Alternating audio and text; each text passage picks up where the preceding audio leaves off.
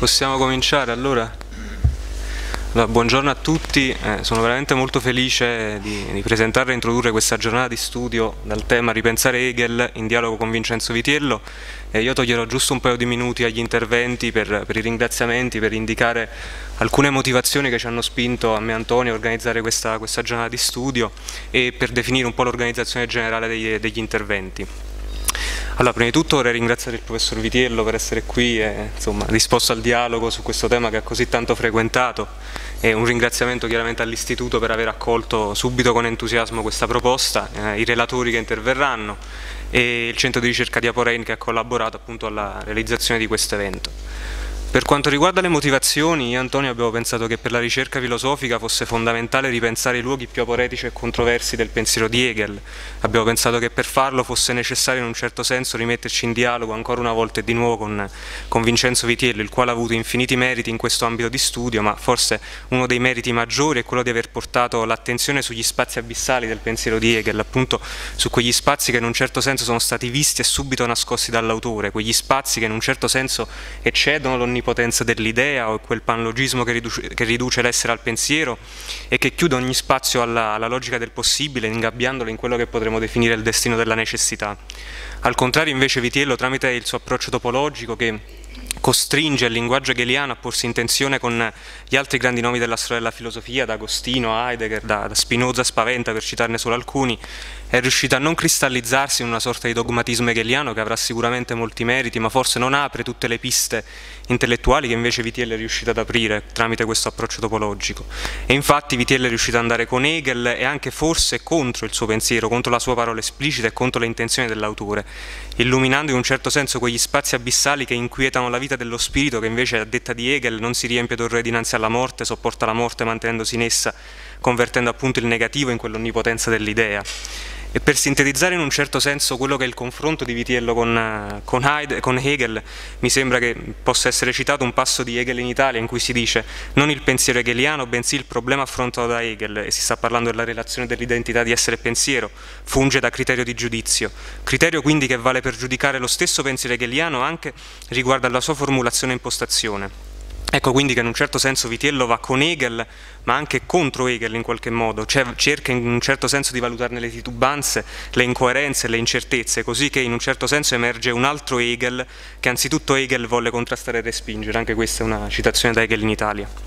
Quindi in un certo senso la topologia e questo andare con Hegel oltre Hegel sono sembrati secondo noi due punti fondamentali per, per ripensare appunto eh, la dialettica hegeliana. Infatti la topologia in un certo senso ha questo di caratteristico che spazializza il tempo, perché appunto se il tempo nel suo movimento esclude, invece lo spazio apre una sorta di orizzonte comune che rende compresenti le diverse epoche del pensiero e anche i diversi sistemi dei, dei vari autori. E appunto questa compresenza rende possibile quello che è il linguaggio topologico, una sorta di metalinguaggio che eh, in un certo senso con una categoria gramsciana potremmo dire rende possibile la reciproca, la reciproca traducibilità dei sistemi in linguaggi differenziali appunto un linguaggio che in questo modo permette di mostrare quegli spazi, quegli orizzonti intellettuali visti e subito nascosti dall'autore, da Hegel in questo caso.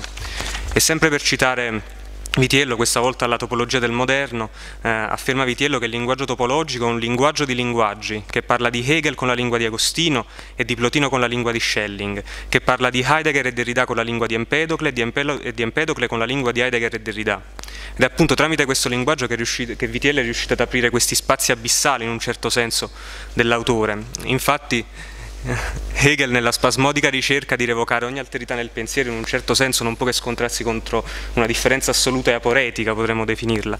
Appunto, infatti Vitiello ricorda spesso che l'identità di essere e pensiero è sempre detta dal pensiero e mai dall'essere, che invece in un certo senso rimane eh, indefinibile, impensato, irriducibile anche alla stessa categoria di essere. In un certo senso, in questo senso appunto si apre questo spazio abissale che potremmo dire, si apre questo orizzonte della finitezza, un nulla che, va, che va contemplato ma in un certo senso non va razionalizzato, dominato come invece ha cercato di fare Hegel. E in questo modo si apre quella logica del possibile tanto cara a Vitiello che rende possibile appunto la possibilità possibilitante che potrebbe essere definita come una sorta di stato di eccezione di ogni meccanica necessità e che rende possibile anche una, una diversa declinazione del concetto di libertà, non appunto come autoesposizione di sé ma appunto come decisione e da questo punto di vista mi sembra che l'Hegel di Vitiello, questo Hegel degli abissi, questo Hegel che va oltre Hegel in un certo senso, non possa che parlare con il linguaggio di Heidegger. anche quando, anche quando, non è citato mi sembra che in un certo senso la presenza di Heidegger sia, sia ovunque nei, nei, testi di Vitiello. Però qui vi è una grande differenza metodologica tra Vitiello e Heidegger per quanto riguarda il rapporto con la tradizione e anche per quanto riguarda il rapporto con Hegel, perché appunto se Heidegger per, mm, per andare oltre Hegel in un certo senso doveva operare un salto, un salto oltre tutta la tradizione metafisica e ontoteologica occidentale, appunto per ripetere la domanda eh, sull'essere e sulla verità, al contrario Vitiello tramite il suo approccio topologico è riuscito in un certo senso a porsi all'interno della tradizione, a porsi all'interno di Hegel e a mostrarne appunto anche quegli orizzonti visti e forse non tematizzati dall'autore. E quindi queste erano le motivazioni che ci hanno spinto a organizzare questa giornata di studio sul appunto un ripensamento di Hegel, ma di nuovo ancora con, in dialogo con Vincenzo Vitiello. Per quanto riguarda invece l'organizzazione della giornata, ogni intervento durerà circa 40 minuti, ci faremo una pausa di 10 minuti dopo l'intervento del professor Valagussa e poi ci sarà l'intervento del, del, professor Adinolfi e le risposte e le conclusioni di Vincenzo Vitiello. E adesso cedo la parola ad Antonio che ringrazio moltissimo perché senza di lui non saremmo qui forse. Certo. Spero che non, che non vi aspettate da me che parli tanto quanto viene concesso, Come, avrò poche cose da dire. Insomma. Beh, speriamo che dopo magari... La cosa più importante è il ringraziamento per, eh, per a voi per aver organizzato questo momento per me felice e che anche mi caratterizza perché si ritorna a parlare di Hegel con me quando sono diventato un trasfuga, avendo per tutta la vita ballato con Hegel e con Kant, eccetera, eccetera, non sapendo, quando ballavo con Hegel ero totalmente hegeliano, quando ballavo con Kant totalmente kantiano. E sono stato, come dire, la mia vita è stato come dire un pendolo tra questi due. Nel momento in cui il pendolo si è fermato su Kant, che è stato l'ultimo lavoro eh, teoretico ho, su cui ho dedicato molti molti anni di studio, mi fa piacere però parlare di Hegel, perché questo, di parlare di Hegel è qui perché primo, la prima edizione dell'Hegel eh, in Italia è stata voluta proprio qui, da Gargano che mi ha aiutato, che quando, da, ovviamente dal, dal, quello che ha costituito, che ha realizzato questa, questa istituzione ma ha aiutato moltissimo anche da Gargano quando ha, quando ha avuto una, dire, una, presenza notevole in questo istituto. Quindi, quindi sono, sono, veramente grato insomma, di, di, tutto questo e poi cercherò di dire qualche cosa che riguardi non il trascurabile Vitiello, ma Hegel e Kant. Insomma e perché anche questa svolta da, che peraltro avendo avuto me l'ha consegnato lei il libro su Croce no, no, no. non sono stato Dunque, mm, uno dei presenti mi ha, che ringrazio mi ha presentato mm, poco eravamo già in questa stanza mi ha presentato il mio prima, primo libro scritto è quel libro che io dico che è stato un eh, peccato puerizio, insomma, eh, il libro su Croce. Ma io ho incominciato a studiare su Croce, eh, Hegel a partire, da, eh, a partire da Croce.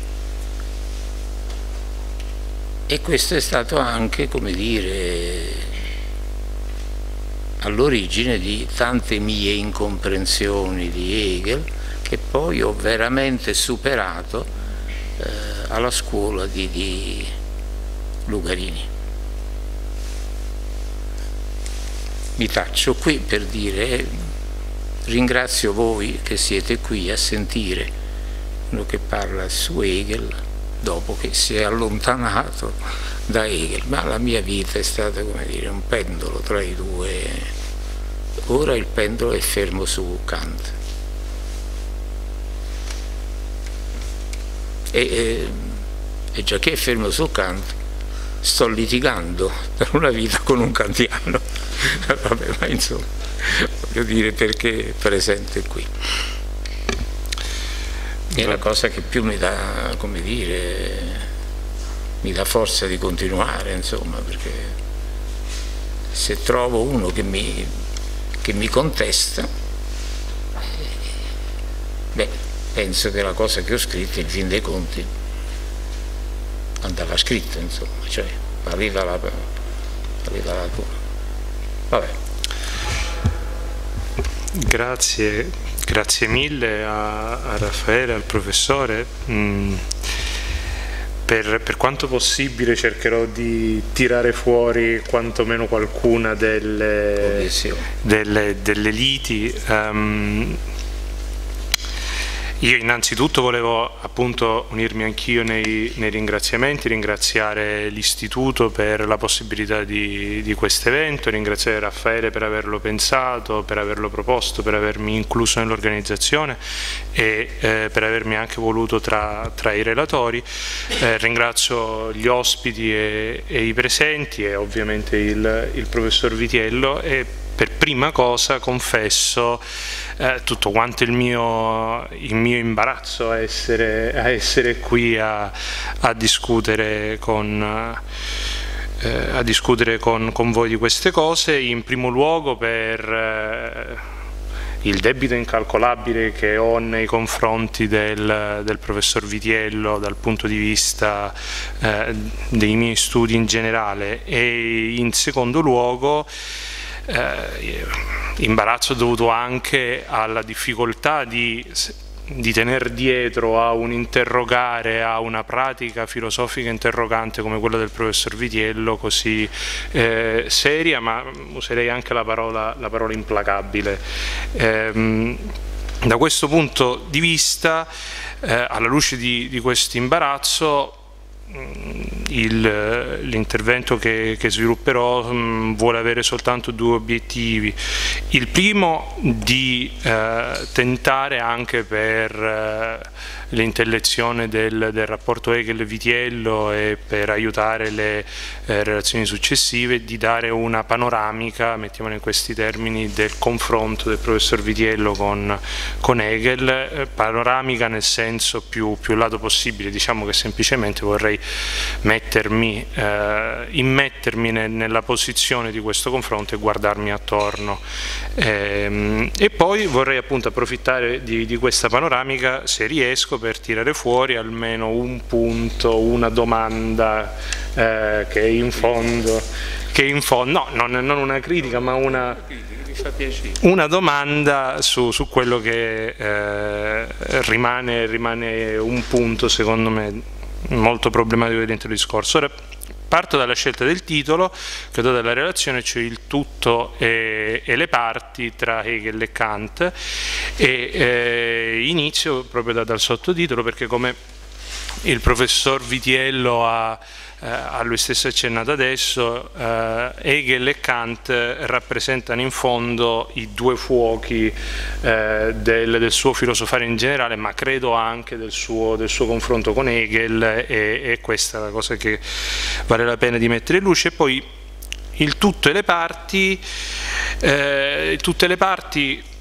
ho, ho, scelto questo titolo come indicazione di un problema eh, e cioè proprio come un un binomio per cercare di arrivare nel modo più rapido possibile a quel, a quel problema della posizione di principio cui, cui, facevo riferimento prima. Forse sarebbe stato meglio nei termini del, del libro su Kant parlare di totalità e di prospettiva, mm, forse sarebbe stato meglio ancora parlare di eh, Verbindung e Nicht-Verbindung eh, in, in linguaggio hegeliano, unione e non unione, eh, però ho preferito comunque tenere il tutte le parti perché mi sembra che il, eh, il, il, nodo problematico emerga più chiaramente se si ha di mira la dialettica tutto parti, la dialettica tutto parti come il professore stesso dice in Hegel in Italia in quanto eh, particolare modo di declinare il problema più universale del rapporto uno molteplice. Ehm, in ciò questa esposizione, mi scuso ma spero che l'esposizione lo eh, giustificherà la cosa eh, da sé, in realtà Kant sarà un po' più presente di, di Hegel e eh, lo sarà alla luce di una domanda guida che mh, voglio porre sin da subito, cioè rilevato, e faccio un discorso all'apparenza poco topologico, ma c'è una ragione topologica alla base, che a partire dall'84 il confronto del professor Vitello con Hegel avviene sempre a partire eh, dalla tesi per cui bisogna pensare Kant dopo Hegel, il giudizio dopo il sillogismo. In che modo Hegel esce eh, mutato da questa inversione? Eh, in un modo o nell'altro, l'altro Hegel che lavora contro Hegel, cui faceva riferimento prima Raffaele nell'introduzione, è un Hegel eh, come minimo sollecitato da, da, Kant, in reazione a Kant. Eh, questa reazione mi sembra il, il primo punto da cercare di, da provare a mettere in discussione per parlare anche del, del, del modo in cui il professore ci permette di, di pensare Hegel. E qui, eh, sempre in senso cronologico e non topologico, eh, o forse anche topologico, rilevo un, innanzitutto un dato di fatto temporale, cioè che Hegel in Italia, nella sua prima edizione, risale al 2003 e si situa a metà esatta, non so se lei se ne era accorto, tra eh, Ethos ed Eros in Hegel e Kant che è dell'84, 19 anni prima, e il Kantbuch che invece è della fine del 21, 18 anni dopo. Data questa posizione mediana di, di Hegel in Italia, ehm, ho pensato che sarebbe stato opportuno, se non interessante, soffermarsi sui due estremi e cercare di vedere eh, come la, la posizione di, de, del problema Hegel per il professor Vitiello sia influenzata dai due lati da, da, dal confronto con Kant. E ehm, da questo punto di vista muovo innanzitutto da, dalla premessa di, di Ethos ed Eros e dal modo in cui il professore definisce questo che comunque è un, un binomio inusuale, soprattutto se si parla di Kant. Eh, eh, per cui ethos eh, indica, il professore dice, la dimora, lo spazio del pensiero, mentre eros sta, eh, uso direttamente le sue parole, è il nome, o meglio la metafora, per indicare l'altro del pensiero, l'altro che si sottrae al pensiero e al linguaggio e che tuttavia assoluta certezza è del pensiero e del linguaggio.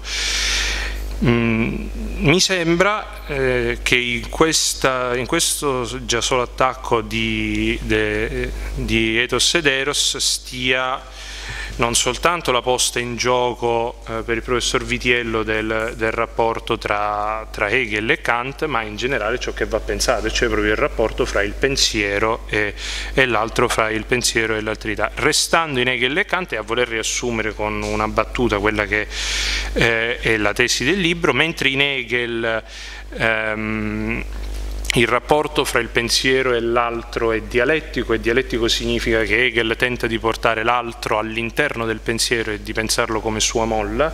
In Kant questo rapporto risponde a una logica completamente diversa per cui in un modo o nell'altro il pensiero si trova semmai esposto alla sua alterità, si trova a doverne fare i conti e a dover fare i conti con un'alterità che lo trapassa dall'interno, che gli sfugge sin, sin dall'interno. Eh, la, ehm, questa differenza a fine testo viene semplificata nel modo più chiaro possibile rispetto al rapporto dell'uomo eh, con la terra in Hegel e in Kant.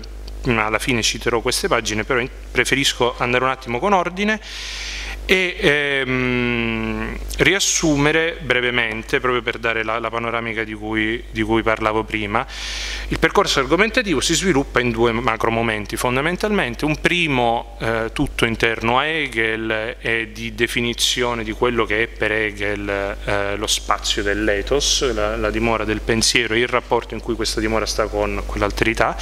E un secondo che invece a partire da alcune difficoltà interne al discorso hegeliano poi precipita in Kant e ottiene in Kant una riproposizione, un altro, eh, un altro modo di guardare alla cosa. Il punto di partenza che vale per entrambi è eh, il discorso di Aristofane nel simposio che il professore interpreta eh, mostrando come lì sia in gioco la stessa nascita della coscienza e la nascita della coscienza da uno stato di scissione. Eh, questo stato di scissione è fondamentalmente lo stesso da cui parte Hegel nella, nella Differenzschrift, tanto che il professore può eh, dire quella che mi sembra una frase molto felice, la filosofia ha in Hegel la funzione erotica di riunificare ciò che è stato diviso. Diviso da che?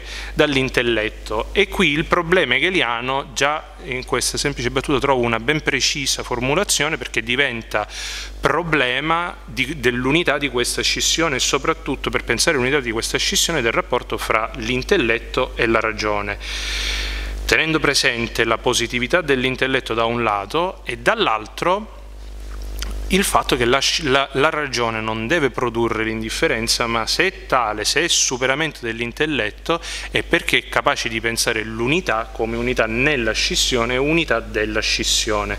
E qui il professore cita quella che eh, credo che non, non, avrà nessun dubbio a riconoscere che lui considera la, la parola fondamentale di Hegel, cioè che bisogna pensare di Verbindung, der Verbindung und der Nicht-Verbindung, cioè l'unione di unione e non unione.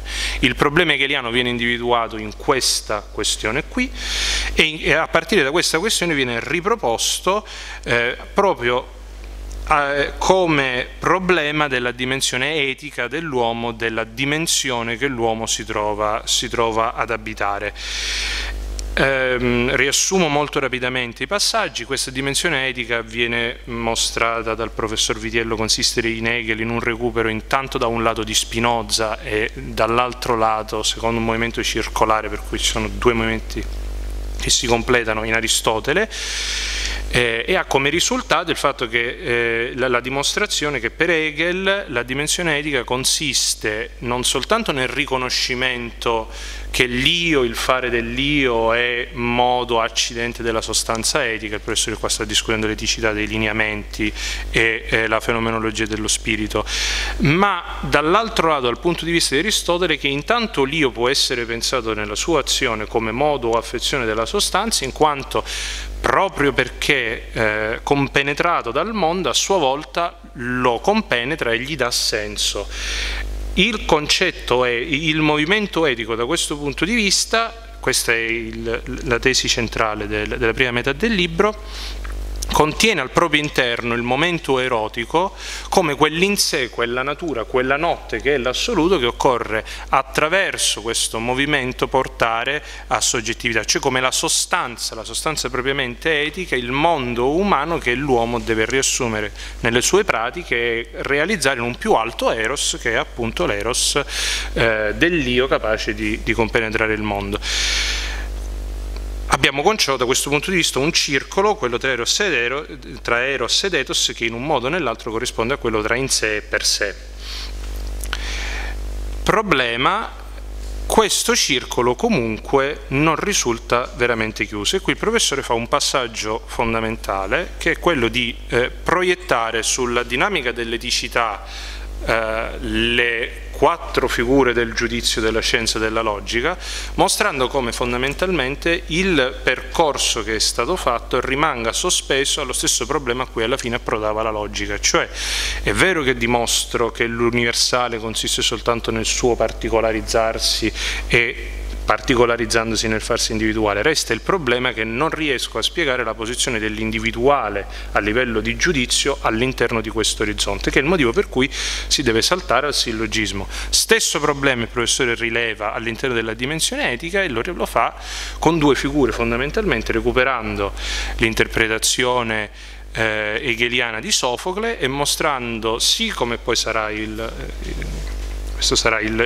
il, punto che porterà più avanti nelle ricerche successive, come Hegel possa preferire Antigone e Creonte a Edipo soltanto perché sta rimuovendo una potenza che è un orrore la luce alla base, che è quell'inse non riducibile a, a per sé, ma più ancora facendo riferimento, qui eh, della cosa parlerà il professor Valagusta più avanti, facendo riferimento soprattutto a un passaggio fondamentale del, dell'Antigone dove Sofocle accomuna eh, dove Antigone parlando e lamentando il fatto di essere rimasta senza gli dei accomuna il talamo alla tomba e il professore approfitta di questa cosa per dire non è che in realtà il vero grande problema non è il rapporto tra Eros ed Eros, ma il fatto che nel rapporto Eros ed Ethos è stato in un modo rimosso quel rapporto, quella continuità fra Eros e Thanatos, non è che c'è un altro Eros che è prima di quello che noi riusciamo a portare effettivamente nello spazio etico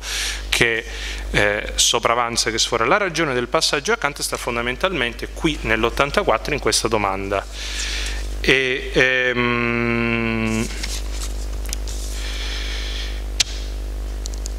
il passaggio avviene però attraverso un, un nodo che mh, mm, mi interessa molto sottolineare perché sarà quello su cui poi dopo tornerò eh, per, per, passare accanto, cioè avviene a partire dal confronto eh, di Hegel con Kant e dall'interpretazione, dalla ricostruzione dell'interpretazione hegeliana della filosofia critica. Il professore sottolinea fondamentalmente come ehm, per Hegel la sintesi a priori kantiana, l'orizzonte kantiano rimanga unilaterale perché eh, sebbene lì sia già presente l'unità della scissione, quella stessa unità di cui abbiamo, nel, eh, abbiamo visto parlare nella prima sezione, eh, l'unità della scissione lì è pensata in maniera ancora incosciente, è un bewusstlos. Il professore utilizza però qui una parola molto interessante, trovo, che annoto, cioè per Hegel eh, l'unità kantiana è pensata ancora in maniera incongrua, usa proprio questo aggettivo, eh, maniera incongrua che è talmente tanto eh, assunta da Hegel da portarlo a ritenere che in Kant eh, non solo l'unità che vive nella e della scissione resta non conosciuta, non pensata, ma inoltre della unità originaria, dell'unità che prima della scissione non v'è più memoria alcuna. Questo è il modo in cui il professore ri ricostruisce la posizione hegeliana rispetto a Kant. Detto questo, passa però subito a rilevare che in realtà questa critica non coglie il punto, e non coglie il punto a partire da una questione ben precisa in Kant, cioè dal diverso rapporto in cui i due, Hegel e Kant, stanno pensando alla sensibilità.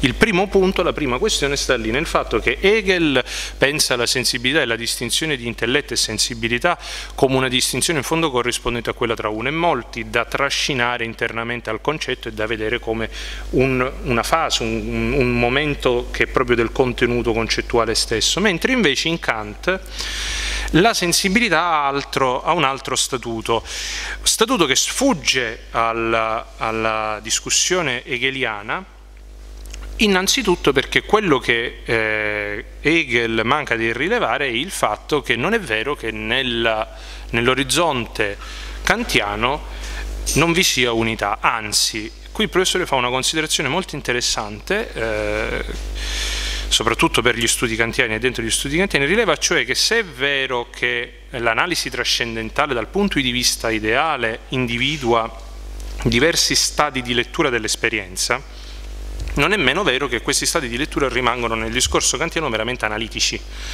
che l'esperienza kantiana, la sintesi kantiana è una e realmente è concreta. E qui il complesso edificio della critica della ragion pura viene ricostruito rilevando la fondamentale centralità dell'immaginazione, il fatto che, appunto, scusate il gioco di parole, di fatto realmente c'è soltanto l'immaginazione che costituisce l'orizzonte di visibilità rispetto al quale soggetto e oggetto trascendentale entrambi uguali a x costituiscono le ultime astrazioni del, del discorso kantiano analiticamente necessarie ma realmente già da sempre ricomprese all'interno del, all'interno dell'unità sintetica.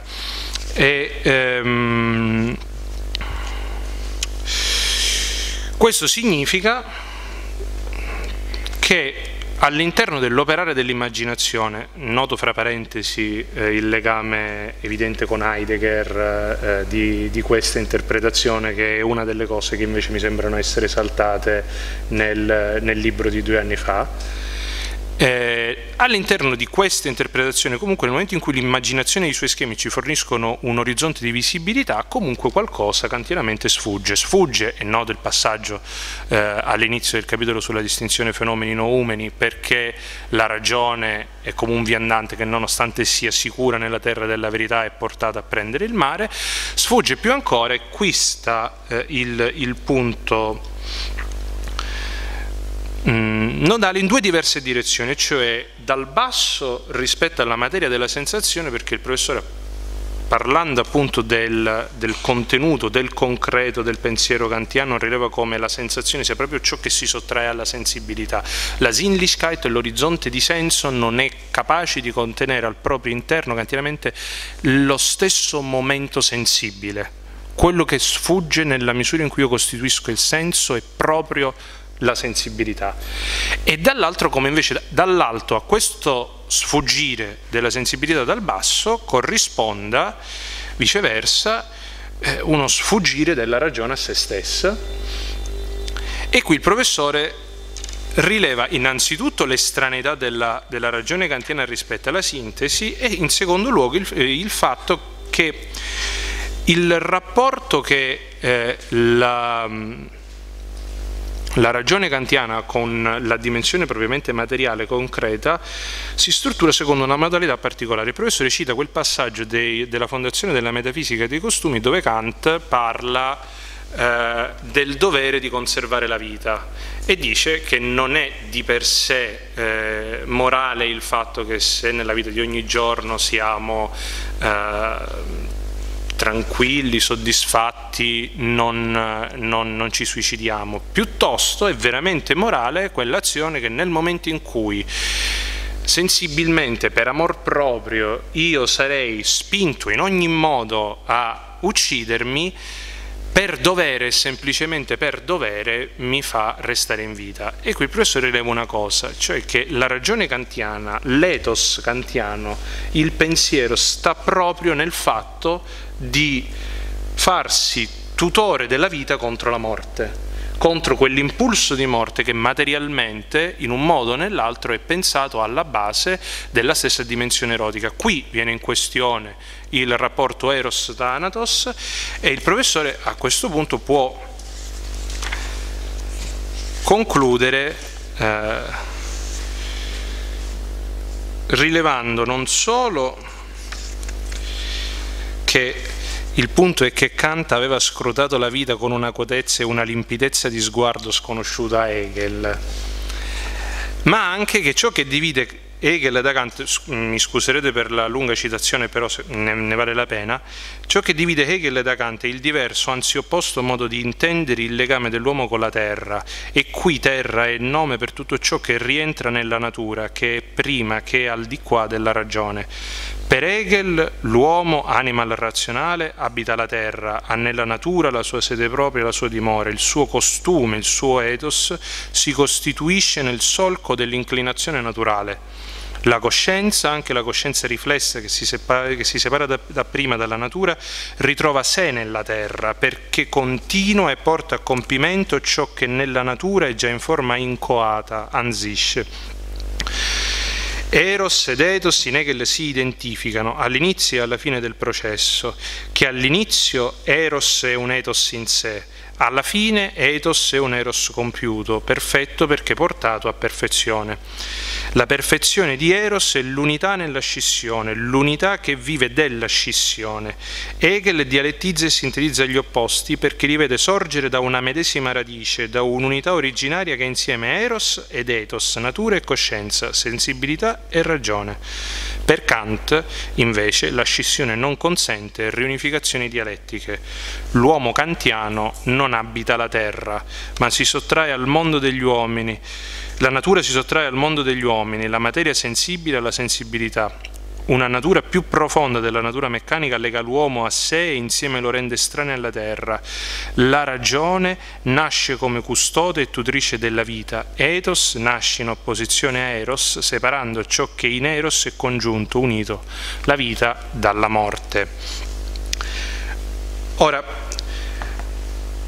da questo punto di vista, Ethos ed Eros, se indicano la separazione da Hegel per cercare di pensare questi due margini, appunto individuano, mi sembra, due margini fondamentali che in Kant sforerebbero il discorso hegeliano, e cioè da un lato quello indicato dalla sensibilità, dalla receptivität, dalla Empfindung e via discutendo, e dall'altro invece proprio questa estraneità della ragione che intanto si costituisce a dimora in quanto sa perfettamente di dover essere eh, di essere limitata da una morte con cui in un modo o nell'altro fa, fa, i conti. Ora, brevemente questi due punti eh, mi sembrano tenuti fermi e anzi ribaditi anche nel Kant Buch.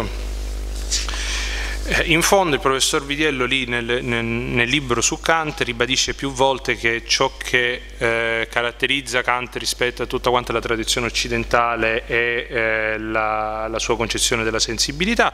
E più ancora il libro si chiude con un capitolo dedicato al male radicale dove sebbene in una chiave molto diversa rispetto a quella che presentate in, Eros, in Ethos ed Eros comunque il tema ripreso è proprio quello dell'oltranza della ragione rispetto, rispetto all'esperienza. È cambiato molto in realtà. In primo luogo la concezione della legge e il diverso concetto di volontà, perché sono abissalmente distanti l'uno dall'altro. Altri due Kant ci stanno nel, nel giro di questi 40 anni. Resta il fatto che comunque i limiti sono quei due. In realtà però è cambiata anche un'altra cosa, è cambiato tutto quanto quello che c'è nel mezzo, è cambiato cioè eh, l'orizzonte dell'esperienza, il modo in cui il professor Vidielli intende l'orizzonte della critica della ragion pura e in primo luogo il perno tra i due. E qui eh, abbandono la panoramica per provare a prendere il, a, prendere il problema. Um, già dalla rapida ricostruzione che ho dato di Ethos ed Eros eh, ho rilevato come il centro lì kantianamente sia l'immaginazione, come il reale virgolette, nel, nell'84 sia costituito da quel reale aperto all'immaginazione. Ho già detto che lì si vede l'influenza di Heidegger. Nel libro di due anni fa questa influenza è completamente rovesciata. È rovesciata in primo luogo nella preferenza per la seconda edizione della critica della ragion pura anziché per la prima, soprattutto rispetto alla questione io penso e intelletto. L'immaginazione in un modo o nell'altro è portata dentro l'intelletto e dentro l'unità che l'intelletto significa in maniera molto più evidente, ma c'è un passaggio in cui eh, lei lo dice chiaro e tondo. Eh, soprattutto però eh, è cambiato appunto ciò che permette il lavoro dell'immaginazione alla base perché se in ethos ed eros, eh, la, la, cosa la direi così, ehm, quando si tratta del reale, del concreto, si tratta dell'unificazione che comunità sintetica appunto immediatamente è riconosciuta nell'immaginazione e quindi nella realtà determinata che poi si va in un modo o nell'altro ad analizzare eh, e lo io penso indica appunto il presupposto analitico, la pura identità dell'io, così come dell'oggetto che rimane a margine, a margine dell'orizzonte e sorvolo sul fatto che già qui invertirei i termini. Ehm, nel Kantbuch lo io penso è pensato mettendo in, eh, scusate sempre il gioco di parole, mettendo l'accento in particolare sull'operatività dell'intelletto e quindi spostando l'unità sintetica alla base dell'identità analitica. Questo è molto più conforme al dettato kantiano di quanto non fosse il discorso di Edo Sederos, perché è Kant stesso che dice chiaro e tondo che la sintesi fa da fondamento all'analisi e non viceversa. La domanda è in che senso dobbiamo intendere però a questo punto questo intelletto, questo io penso che nella sua operatività starebbe alla base della produzione di quelle che a questo punto diventano le identità sensibili, nei termini di Kant l'identità del concetto rosso piuttosto che l'identità del concetto giallo e via discutendo. Eh, il professore per affrontare questo problema lo porta a convergere col problema del rapporto fra eh, l'io trascendentale, il soggetto trascendentale e il soggetto empirico e pensa, introduce a questo punto nel libro di, di due anni fa eh, una distinzione che è quella in cui viene finalmente in discussione il rapporto tutto parti che ho rimandato dall'inizio, quella cioè tra uno io penso totale, che sarebbe appunto l'unità sintetica, l'unità dell'operazione alla base del, della produzione dello spazio dell'esperienza, e eh, un io prospettico che è quella appunto dell'autocoscienza come identità dell'io uguale io che prospetticamente è situata all'interno di una determinata apertura di mondo, mettiamolo in questi termini. Um, ora, in, per quale motivo fare questa traduzione. Da un lato ci sono eh, per il professore delle ragioni testuali, ci sono delle ragioni che riguardano proprio eh, l'intera tenuta del pensiero kantiano e qui verrebbe in discussione il rapporto tra la critica della ragione pura e la dissertazio, come se non l'avessi neppure accennato lo metto via. Dall'altro però mi sembra che il vero punto fondamentale o vero, la vera ragione per questa distinzione sta in quella che è l'apertura del libro su Kant, quando il professore con un significativo capovolgimento eh, rispetto a, alla parola fondamentale di Hegel dice che quello che si tratta di pensare insieme a Kant è die Nichtverbindung der Verbindung und der Nichtverbindung, la non unione di unione e non unione. Questa mi sembra in un modo o nell'altro la parola guida non solo del confronto del professore con Kant, non solo di riflesso del confronto del professore con Hegel quando cerca quell'altro Hegel contro Hegel, mi sembra in generale la parola guida del professore. E, e, e qui vorrei mettere un, un attimo in discussione la cosa. La domanda che voglio porre è questa. Um, la dico eh, nella maniera più diretta possibile, davvero è, non dico necessario, ma già solo possibile intendere lo io penso kantiano in questi termini, davvero l'io penso di Kant, il rapporto fra ragione e intelletto in Kant indica la non unione di unione e non unione. E questa domanda la pongo alla luce di due passaggi di Hegel in Italia. Il primo eh, entrambi stanno all'inizio del secondo capitolo della prima parte, quello dedicato più direttamente a, a Hegel, eh, successivo al capitolo su Croce, che serve appunto poi per inquadrare le, le varie interpretazioni successive. Um, il primo passaggio sta all'inizio quando lei rileva che ehm, il problema di Hegel è quello della copula si tratta in Hegel della mediazione e della mediazione pensata appunto come uno molteplice. Nel momento in cui ci rendiamo conto che all'interno del giudizio questa mediazione in un modo o nell'altro si ritrae, tutto il problema hegeliano diventa quello di portare questa copula a coscienza, portarla a medio sillogismo. E qui c'è il secondo passaggio che è quello in cui ricostruisce eh, il sillogismo di sillogismi alla fine dell'enciclopedia, dove eh, viene fuori, prende il passaggio, una cosa che in realtà è molto simile a quello che stiamo cercando di pensare in Kant, troppo simile forse a quello che stiamo cercando di pensare in Kant quando mettiamo l'accento sull'operatività della sintesi a priori, perché lei stesso nota che ciò che è più importante di questi paragrafi finali dell'enciclopedia è la manifestazione piena della logica e del logos come attività. La ragione si mostra, si dice, operando. Il suo manifestarsi è nella forma dei due sillogismi uniti nel terzo che dicendosi si fa. L'idea nel terzo sillogismo si rivela prassi. Nel momento in cui pensiamo lo io penso kantiano e lo io penso kantiano come alternativa da questo punto di vista alla struttura dello, allo spirito hegeliano e lo pensiamo come prassi, questa prassi riesce davvero a tirarsi fuori da dal, dall'operatività che invece abbiamo raggiunto qui in Hegel? E questa cosa la dico con un occhio eh, al, eh, al, primo capitolo del libro de, del, di, di, Duque su, sul fiore nero dove Duque fa vedere che in realtà se la logica hegeliana funziona e io direi se la logica hegeliana funziona soprattutto qui, alla fine, come medio che fa vedere la natura dei medi degli altri, è perché la logica hegeliana in generale si sottrae. Quello che io sto facendo vedere nell'ultimo sillogismo non è eh, eh, mettiamolo in questi termini, la produzione effettiva del medio, sto facendo vedere che il medio è tale soltanto nella sua sottrazione, per cui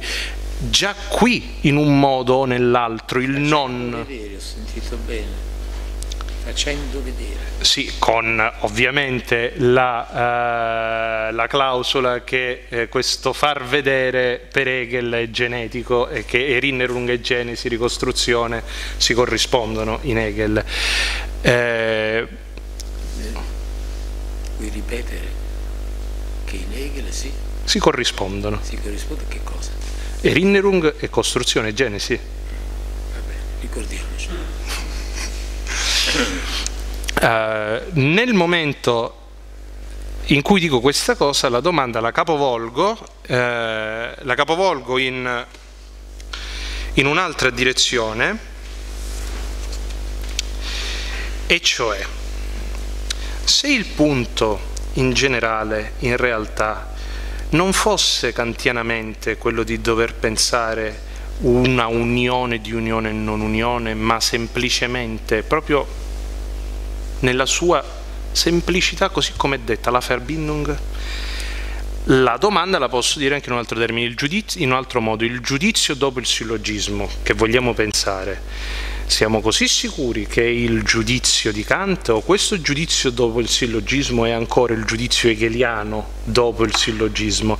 Perché qui eh, mi sembra che in realtà in Kant ci sia un'altra, veramente completamente altra struttura di pensiero. La, traduco l'implicito del discorso, siamo sicuri che il Kant del professor Vitiello non sia ancora molto hegeliano? Eh, eh, nel momento in cui dico la domanda in questi termini cerco di spiegare in che senso eh, il discorso in Kant, proprio su quello io penso, potrebbe puntare a qualcosa di diverso. E lo faccio rispetto al discorso dell'identità sintetica e dell'unità sì, sì, no, no, me ne servono meno. Eh, rispetto al, al discorso dell'unità sintetica e dell'identità analitica, rilevando che in fondo lo io penso kantiano funziona nell'accompagnare e funziona nell'accompagnare direi così, quello che di volta in volta è dato. La sintesi kantiana è totalmente sospesa alla datità, che è la sua stessa datità, in un modo o nell'altro, ma che rispetto allo io penso mi sembra non avere nessunissimo tipo di totalità sottintesa, nemmeno la totalità della prassi.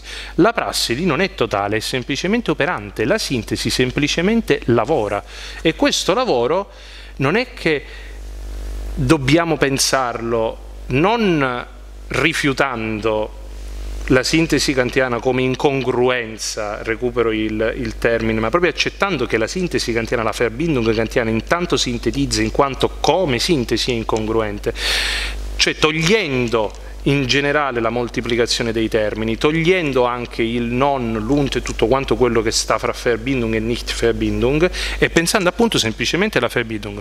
In questa direzione Kant mi sembra andare, e con questa citazione chiudo, in quello che è uno dei testi in realtà meno considerati del, del discorso kantiano e cioè ehm, nella seconda nota alla prima definizione della foronomia nei primi principi metafisici della scienza della natura.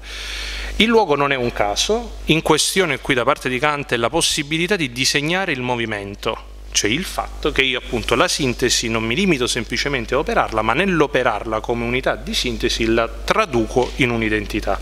Questa composizione Kant dice è possibile soltanto perché nel momento in cui traccio la linea, il tirar di linea della, della, critica della ragion pura, non si sta muovendo soltanto, mettiamolo in questi termini, la punta della penna, ma la punta della penna corrisponde dal punto di vista della costruzione dello spazio un quantomeno possibile movimento in direzione contraria del foglio che in realtà io do per assodato che non ci sia perché assumo uno dei due come, ehm, come immobile, appunto il foglio. Su che cosa si basa l'assunzione del fatto che il foglio come spazio relativo è immobile? Sulla base del fatto che assuma al di fuori del foglio uno spazio assoluto che dovrebbe essere appunto la totalità dello spazio. Ci troviamo da questo punto di vista per disegnare in un'identità il movimento a dover pensare l'identità dell'operazione come identità tanto dell'operare quanto dell'oggetto prodotto e allo stesso tempo al di fuori a proiettare di nuovo il tutto. Per cui qui sembra essere di nuovo richiamata in causa la dialettica fra tutte e parti, fra una totalità che sarebbe quella dello spazio assoluto e le parti che si sta o la prospettiva che si sta disegnando all'interno. Non fosse che Kant commenta così e qui c'è un'unica frasetta che, quel, che, che, che vorrei mettere sul tavolo. Cito l'intero capoverso, ma la frasetta la sottolineerò alla fine. Lo spazio, ehm, perciò ogni movimento che sia oggetto dell'esperienza è soltanto relativo, lo spazio in cui viene percepito è uno spazio relativo che a sua volta si muove e forse in direzione opposta in uno spazio più esteso, per cui anche la materia che si muove rispetto al primo, rispetto a questo secondo spazio, può essere detta immobile. Per situare il foglio, traduco, come immobile nello spazio nel momento in cui tiro la linea disegnandola, considero la punta della penna come immobile ehm, la punta della penna come mobile, il foglio come immobile, ma come immobile in riferimento al tavolo e possiamo ampliare alla stanza e di qui a salire. Eh, questo secondo spazio può essere detto immobile. Queste modificazioni del concetto del movimento procedono così all'infinito in corrispondenza con il cambiamento dello spazio relativo. Ammettere come dato per sé uno spazio assoluto, cioè uno spazio che in quanto non è materiale non può essere oggetto d'esperienza, significa ammettere qualcosa che non si può percepire né in sé né nelle sue conseguenze e porlo a fondamento della possibilità dell'esperienza non posso da questo punto di vista che considerare lo spazio assoluto come una semplice idea, non si darà mai uno spazio assoluto perché qualsiasi spazio nel quale mi muoverò sarà sempre uno spazio relativo. Conclusione, porlo a fondamento della possibilità dell'esperienza, la quale si deve invece sempre svolgere senza di esso. E qui è il punto, non ci sta il tutto. La sintesi kantiana se considera il tutto, lo considera come idea, come un qualcosa di regolativo all'interno, mentre l'esperienza, la produzione, la sintesi si deve, si deve eh, un attimo che cerco il verbo è mussen, si deve sempre svolgere senza di esso. Non è che allora dobbiamo pensare semplicemente le parti senza tutto, la parte nel suo essere parte, ma in, in totale al di fuori, non è che allora forse quella che smette di essere in grado di dire il movimento della sintesi è proprio la dialettica tutto parti, che dobbiamo abbandonarla e pensare piuttosto un movimento che nella misura in cui accade si svolge senza totalità, nel momento in cui accade proprio come sintesi, composizione di cosa, di sé con sé, si riassume, ma in cosa? Nella sua totale sospensione al proprio muoversi. Per cui il tutto, l'intero orizzonte del, del totale viene completamente a essere messo fuori quadro, rimane cosa? Semmai la sospensione dell'operare. Ma questa sospensione dell'operare la posso davvero continuare a definire in termini hegeliani come l'operazione della logica che sta alla fine dell'enciclopedia o nel momento in cui la vado a intendere in termini kantiani, come cambia il concetto di Handlung? E con queste domande mi taccio.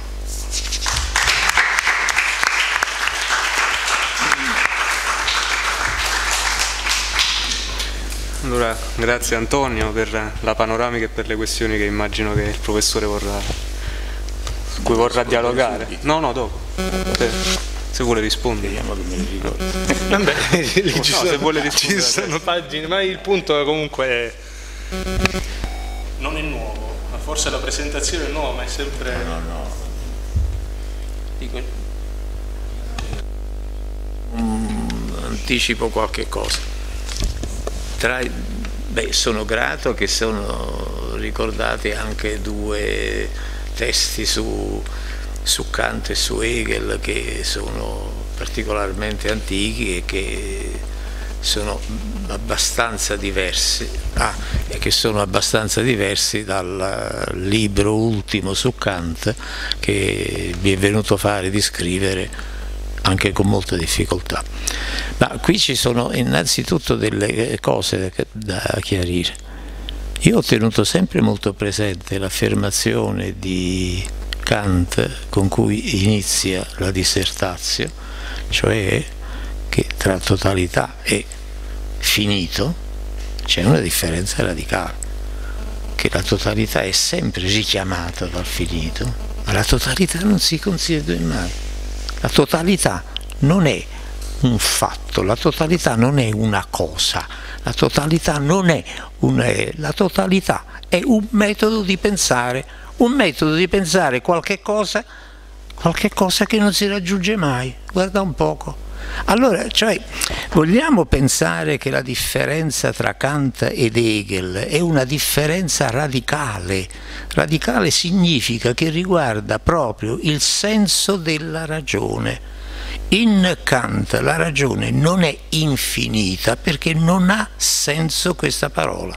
La ragione, anzi, è quello che mette insieme qualcosa che non si può pensare, perché mi sembra che nella tua eh, riflessione kantiana, mm, come dire, in non eccetera, non c'entra per niente, così, è dimenticato, mentre invece quello mi sembra che sia un elemento fondamentale, cioè noi ci, insomma, il tema, la differenza tra Kant ed Hegel è esattamente questo. Per Kant la ragione, che è il fondamento della dimostrazione, eccetera, il fondamento del, del mondo che noi, che noi costruiamo, e poi su questo ci tengo molto, dunque che significa costruire questo? Eh? Dunque, costruire non significa che c'è qualche cosa altro dal pensiero, il pensiero è quella cosa che noi costruiamo, il pensiero è il mondo, ma questo pensiero non è una ragione assoluta, è, è qualcosa di estremamente limitato, dove l'infinito è solo la maniera per cui noi finiti possiamo pensare, possiamo pensare il finito, il finito che non avesse qualche cosa sempre al di là non sarebbe finito e se non, eh, in, non sarebbe finito quindi evidentemente non è pensabile. Noi pensiamo soltanto il finito. Dunque tutte le cose eh, questo come dire deve deve comprendere un, un, un modo completamente nuovo di leggere Kant. Kant non ci sta, noi leggiamoci prima la sensazione, perché ci siamo sempre fermati alla, come dire, a quell'istinto di, di, di educatore, di quell'istinto di, di, di, di, Kant che vuole spiegare le cose, che noi siamo i ragazzini e Kant ci spiega, guardate che ci sta prima l'immaginazione, poi dopo l'immaginazione ci eh, no, ci sta la sensazione, poi l'immaginazione, poi, poi il pensare. Però quando arriviamo nella critica della ragione, qui senza nessuna speculazione, che a un certo momento Kant dice sì, ma io sento il prurito sulla mano perché io sento me stesso. Questo è l'io penso, l'io penso universale, che o sento il dolore sulla mano, o sento il prurito, oppure sento, come dire, una sensazione sessuale, eccetera, eccetera. Questo è sempre sono io che penso, quindi lasciamo stare il fatto, eh, come dire, il carattere proprio di, di di professore di Kant che deve spiegare tutto e allora noi per pensare eh, la nave che viene, come dire, eh, che viene mm, ribaltata dall'onda più forte eccetera, dobbiamo prima avere la visione poi avere l'altra visione, poi dire quali sono gli elementi, eccetera. Ma, ma la cosa non accade così. Non, quando poi dice tutto, tutto quello, anche quando mi gratto sulla, sulla mano, c'è un io penso che rende me grattante la mano e non me grattante il tavolo. Ecco, questa è la cosa. Dunque, l'io penso esattamente questo, è quella forma in cui sono sempre ridotte tutte le nostre sensazioni, ma le nostre sensazioni, le nostre immaginazioni, eccetera, eccetera. Non ci sta un pensiero, Insomma, il problema è che la deduzione trascendentale deve essere capita non nel processo di salita, ma nel processo di discesa. Non è che ci sta una sensazione, la sensazione del dolore alla mano, poi ci sta la sensazione che viene portata a pensiero, ah questo è dolore, poi che viene pensato, eh, ah questo è l'io penso, io penso che è dolore, no, io sento immediatamente, cioè non ci sta una, non ci sta una questo lo dice Kant, eh, ben inteso, non ci sta una sensazione che non sia un io sento. Allora l'io puro, l'io das, tenete presente anche il modo che scrive, non ich denke, ma das ich denke, das ich, eh, traducete, l'io penso, l'io penso, ma io sono io, non sono l'io. L'io penso che è universale, ma, ma, ma che diciamo, vogliamo capire questo insomma. A me sembra, dunque, Kant deve essere completa, completamente ripensato. Questa è stata la mia fatica, ovviamente con tutti i limiti di cui mi rendo conto di fare perché molte volte ci sono delle cose da fare. E poi dobbiamo tenere ancora presente una cosa, che in Hegel rimane in Hegel che poi si dice che Hegel è quello che considera, si dice, si dice, l'ho detto io, ho fatto come dire, ho portato la bandiera per, una vita intera, dunque che Hegel ha pensato il pensiero come attività eccetera eccetera, quante ne possiamo, ma non è vero, non è vero, il primo è stato Kant se vogliamo dire e forse forse dobbiamo risalire ad un autore italiano che guarda caso si chiama Vico, il verum et factum. E possiamo fare tanti altri esempi anche di grandi poeti relativamente a questo, a questo. Insomma, noi abbiamo, e questo ritengo, ma ehm, non mi voglio fermare su questa cosa perché eh, ci sto lavorando da tempo e non credo di essere arrivato al punto, al nocciolo reale noi siamo costretti a pensare in una maniera che non è proprio del pensare. E cioè noi siamo costretti, insomma quello che era il grande trionfo per eh, Severino, eccetera, l'essere così, noi siamo legati a questa parola essere, le cose che è, la cosa che è, eccetera, eccetera, che è, è, come dire, la costruisce così. E allora Qui è la ragione del pensare come definire. Pensa ma, questo qui poi ci sono tanti altri elementi. Qui mi, dire, mi sforzo di pensare delle cose sperando che un più autorevole conoscitore di Aristotele di me no, non mi crocifigga dopo. Dunque, è, qui, come dire, è proprio il, la posizione, posizione dell'essere che è stata garantita, come dire, garantita da Aristotele, come il principio di non contraddizione, eccetera, eccetera. Perciò io insisto che la Unverbindung, der Verbindung und eh, Unverbindung, questo, questo è il da pensare e questo è il da pensare che ci, ci permette di fare il passo tra la filosofia che è ferma al, teoretica, alla logica, eccetera, alla filosofia e questo mi sembra che sia, sembra che sia il grande insegnamento. Io da qui ho iniziato, adesso scoprendo tutte le carte, il grande insegnamento, il grande insegnamento di Kant. Guardate che se non comprendiamo la deduzione trascendentale, che cosa significa, e che cosa significa la prima e la seconda deduzione trascendentale, non capiamo. Certe volte si dice eh, ma ci sono delle opposizioni che Kant non risolve eccetera eccetera. È proprio perché non le risolve che mostra il limite della ragione.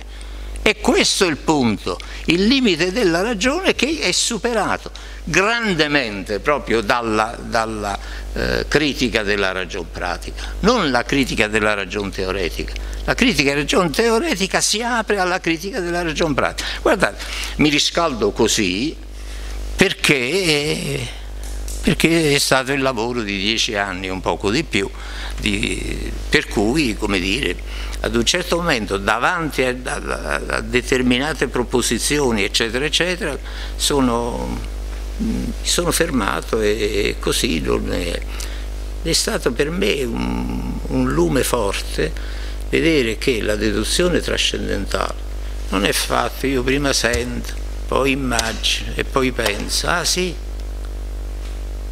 io penso ed è il pensiero che si fa immagine ed è l'immagine che si fa cosa. Noi nel conoscere il mondo lo stiamo costruendo.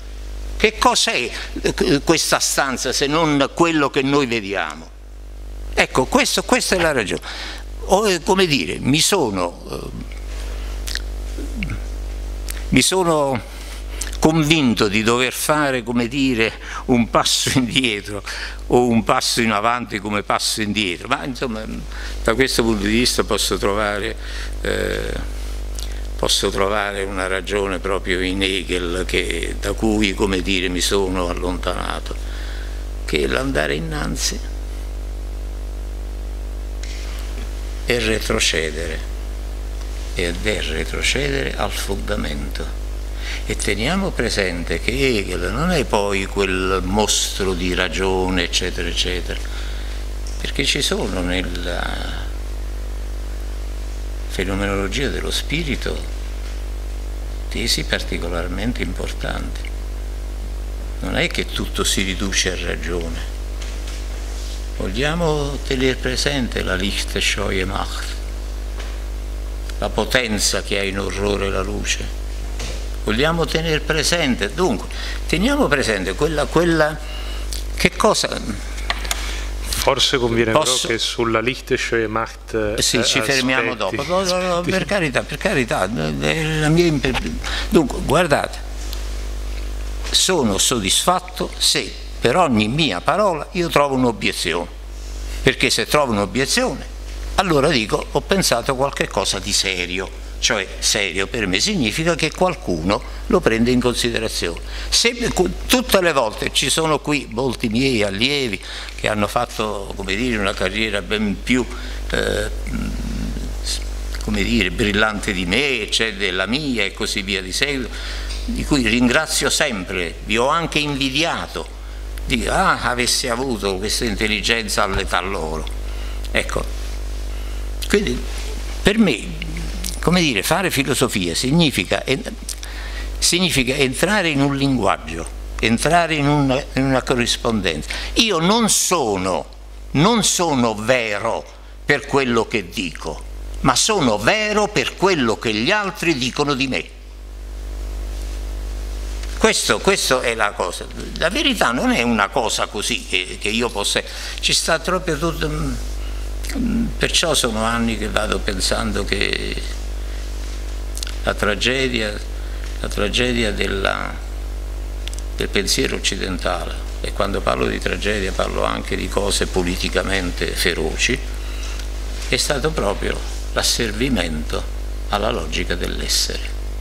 L'essere è questo, la necessità parte, la... chi può mostrare la necessità? È indimostrabile. Ricordo un caro amico su cui ho da poco terminato di scrivere che davanti all'obiezione, ma così tu ti contraddici, e questo lo diceva un, un filosofo di tutto rispetto con cui ho discusso per una vita, in una posizione completamente lontana dalla sua, quando questo mio caro amico venne accusato, beh ma così tu ti contraddici? La risposta è sì, beh sì mi contraddico, e allora? Perché questo, questa esaltazione del principio di non contraddizione, eccetera, eccetera? Da dove sorge il principio di non contraddizione? Quando Aristotele dice, mi permetto con, con grande timore, essendoci qui uno studioso di Aristotele che conosce cose che io non mi sogno di conoscere, eccetera, eccetera,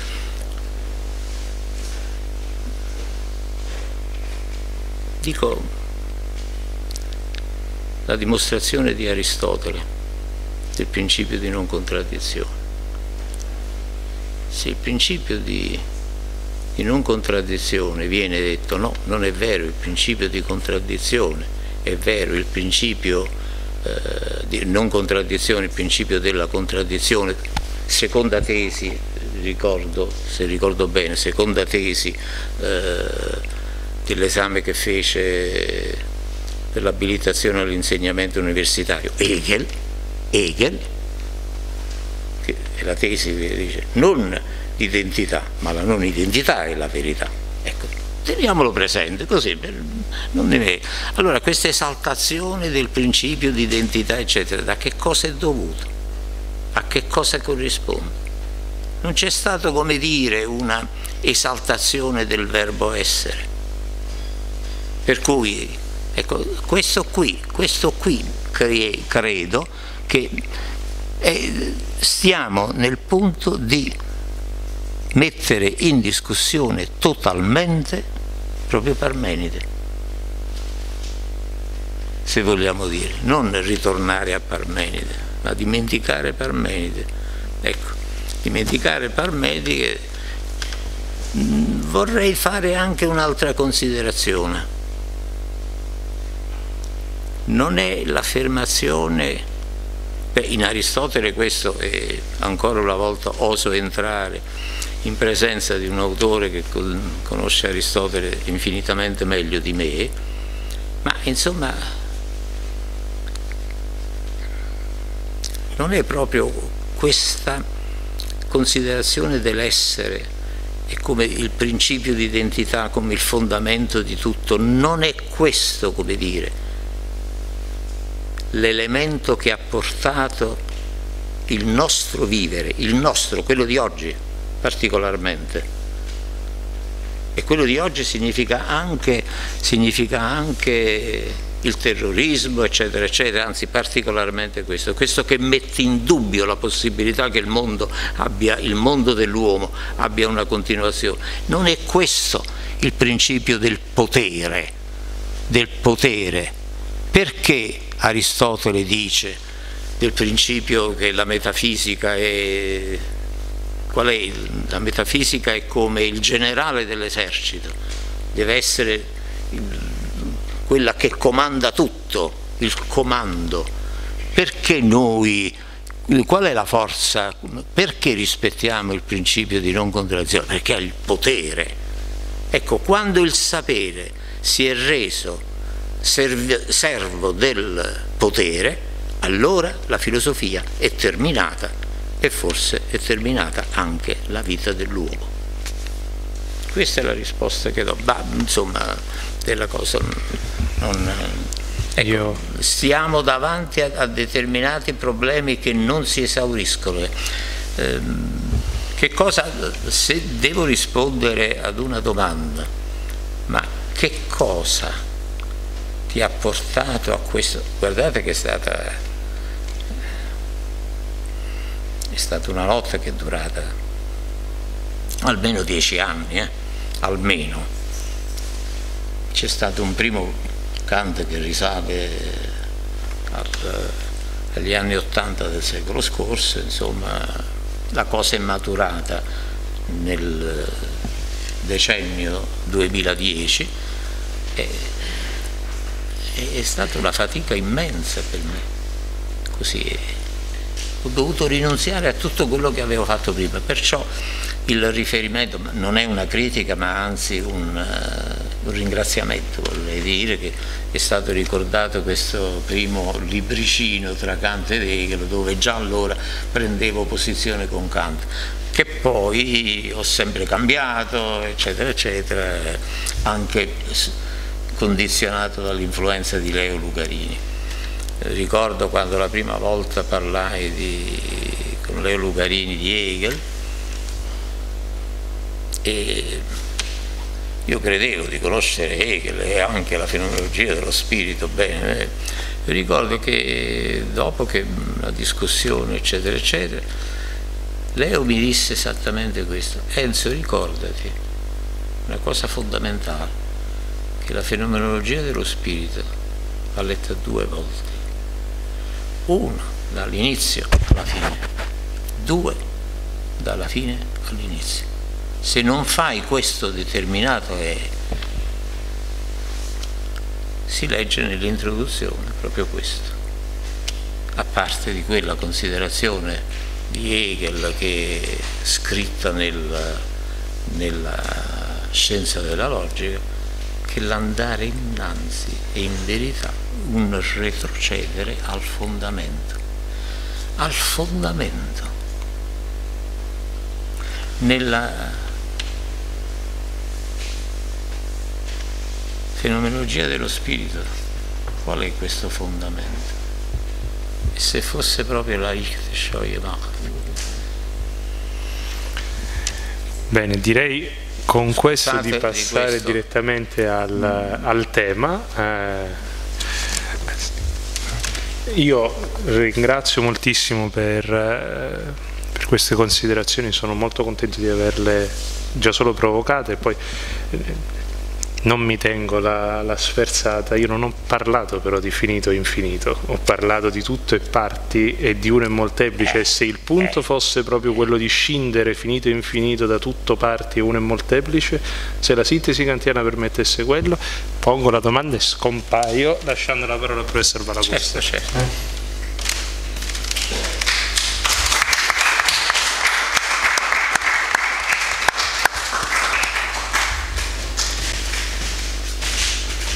adesso devo erigere, erigere un altro muro perché anche lui mi picchierà e fa bene. Ringrazio il professor Valagussa per aver accettato l'invito, eh, docente di estetica e forme del fare presso l'Università Vita Salute San Raffaele di Milano, parlerà appunto della potenza che non errore la luce, che è un tema che è stato chiamato in causa e quindi lascio subito la parola al professore. Grazie. Eh, sì, io eh, comincio naturalmente ringraziando l'Istituto per, per l'invito e tutti i vari organizzatori. Ehm, ehm, sono state spese parole molto belle sul, sul, debito che tutti noi abbiamo e io sono, naturalmente mi sento parte nel, nel riconoscere questo, questo, debito che tutti noi abbiamo, però ecco, ehm, credo che eh, questo debito che abbiamo contratto eh, possa essere espresso nella maniera migliore proprio cercando di discutere. No? Eh, non ci siamo messi d'accordo, io partirei proprio da eh, in realtà mh, poche pagine all'interno di Hegel in Italia eh, dove eh, la tesi del professor Vitiello è molto precisa, cioè eh, la famosa figura del contraccolpo eh, è senza giri di parole, è questa potenza che ha in orrore la luce. Cioè non, non è una cosa fine che richiama, ma è proprio questo aspetto. Ehm, sarà un percorso, diciamo così, che io farò in, in quattro tappe, perché eh, sia il contraccolpo sia il, la potenza che è in orrore alla luce hanno la caratteristica di trovarsi sia nella fenomenologia sia nella scienza della logica. E da qui quindi abbiamo sostanzialmente due coppie che devono essere analizzate. Lo faremo brevemente, eh, nessuno, starò nei, nei minuti concessi, però appunto sono proprio quattro le tappe. E non si può non partire da quella famosa frase a cui in realtà implicitamente si accennava eh, da parte del professore, eh, si tratta di intendere ed esprimere il vero non eh, io direi, mi permetterei di aggiungere un non solo come sostanza, ma altrettanto bene come soggetto. Eh, su questo Eben Zosea, no? su questo altrettanto bene, sul, sulla difficoltà naturalmente di rendere questo termine tedesco, eh, penso che il professor Vitello abbia riflettuto e, e abbia costretto noi a riflettere più di chiunque altro, eh, da qui anche l'esigenza di non eh, lasciare solo il non come sostanza, ma appunto dire non solo ecco, come sostanza, ma altrettanto bene come soggetto. Eh, perché il primo punto in cui emerge il eh, contraccolpo riguarda proprio la lettura eh, della mh, mm, eh, proposizione speculativa nella, scienza, nella, nella fenomenologia dello spirito. Eh, dice Hegel, eh, sono passi anche troppo noti, ma vanno richiamati, eh, il saldo terreno del soggetto quiescente vacilla. Qui naturalmente bisogna mettersi un attimo d'accordo con i termini, questo soggetto quiescente, che è il soggetto della frase, in realtà è esattamente la sostanza, cioè qui c'è un problema naturalmente terminologico, nel senso che quando Hegel dice non solo come sostanza, ma altrettanto bene come soggetto, sta dicendo il saldo terreno del soggetto quiescente, il soggetto quiescente, cioè il soggetto della proposizione qui, è la sostanza, è la morta sostanza, cioè quando io dico Dio è essere, Dio all'inizio è morta sostanza, è il soggetto della frase, ma in quanto immediatamente dato, no, ciò che è eh, dato in quanto immediato, no, noi lo consideriamo noto e proprio perché lo consideriamo noto non è conosciuto, dice Hegel. No? Quindi questo Dio iniziale è sostanzialmente qualcosa di morto, di quiescente, ma il saldo terreno per cui noi diciamo Dio, avete presente Dio, cioè ce l'abbiamo presente tutti, no? sappiamo tutti cos'è, ecco questo saldo terreno vacilla, dice Hegel perché in realtà il vero soggetto che abbiamo di fronte non è il soggetto della frase, che è la sostanza, potremmo dire così, è la morte sostanza, è il soggetto quiescente. Il vero soggetto è il movimento del pensiero che fa questa operazione, tiene insieme i predicati che di volta in volta predichiamo del soggetto e tenendoli insieme costruisce quelli che non sono più a questo punto i predicati semplicemente, ma diventano l'essenza, essenza è la sostanza, no? cioè la, la vera essenza di quella morta sostanza, cioè quando tu mi dici Dio, io non so che cos'è Dio. Se tu invece mi dici che Dio è essere, che Dio è onnipotente, che Dio è onnisciente, io comincio a tenere insieme questi predicati ed è la riflessione, cioè è il movimento ponente del pensiero ad essere la vera essenza della della cosa, cioè quello che Hegel capisce è che non c'è un'essenza nella cosa a prescindere dal movimento del pensiero che la costruisce. La vera essenza è quindi la riflessione, non un po', un po', cioè il movimento di pensiero è il costituente dell'autenticità del soggetto. Mm? A questo punto è lui il vero soggetto, no?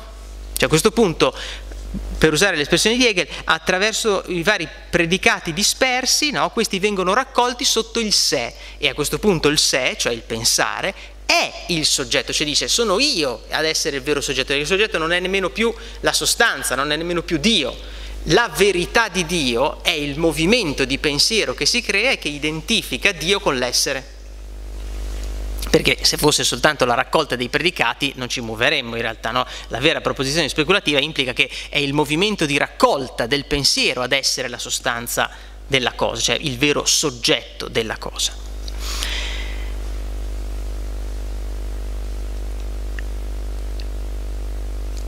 proprio in questo movimento il pensare subisce un contraccolpo. Cioè uno potrebbe dire ecco qua l'idealismo. L'idealismo è il fatto che il pensare è quella cosa che in realtà quel movimento che ricostruisce la sostanza. E quindi che cosa è il vero soggetto? Il pensare. Ma neanche per niente, dice Hegel. Perché in realtà il pensare, proprio adesso che è libero, cioè proprio adesso che dice io pensare ho ricostruito la vera essenza della cosa, perché ho raccolto tutti i vari predicati, questa raccolta è la sostanza vera, cioè quella conosciuta ormai, non soltanto nota che Dio, sapete cos'è Dio? No, in realtà no, vi devo dire tutto l'insieme di predicati, cioè costruire l'essenza. Beh, eh, a questo punto il pensare potrebbe dire ho conquistato il campo, no? Dio l'ho costruito io, è la, mia, è la posizione dell'insieme dei predicati che ho raccolto. No, perché proprio qui, dice Hegel, il pensare subisce un contraccolpo. Perché quella sostanzialità che il pensare ha superato è ora una pesantezza che impedisce al pensare di errare liberamente. Cioè non è che il pensare ha conquistato il campo e dice adesso sono io il vero soggetto e erro liberamente perché non ho più niente di fronte a me, così, no, perché sono l'assoluto. No.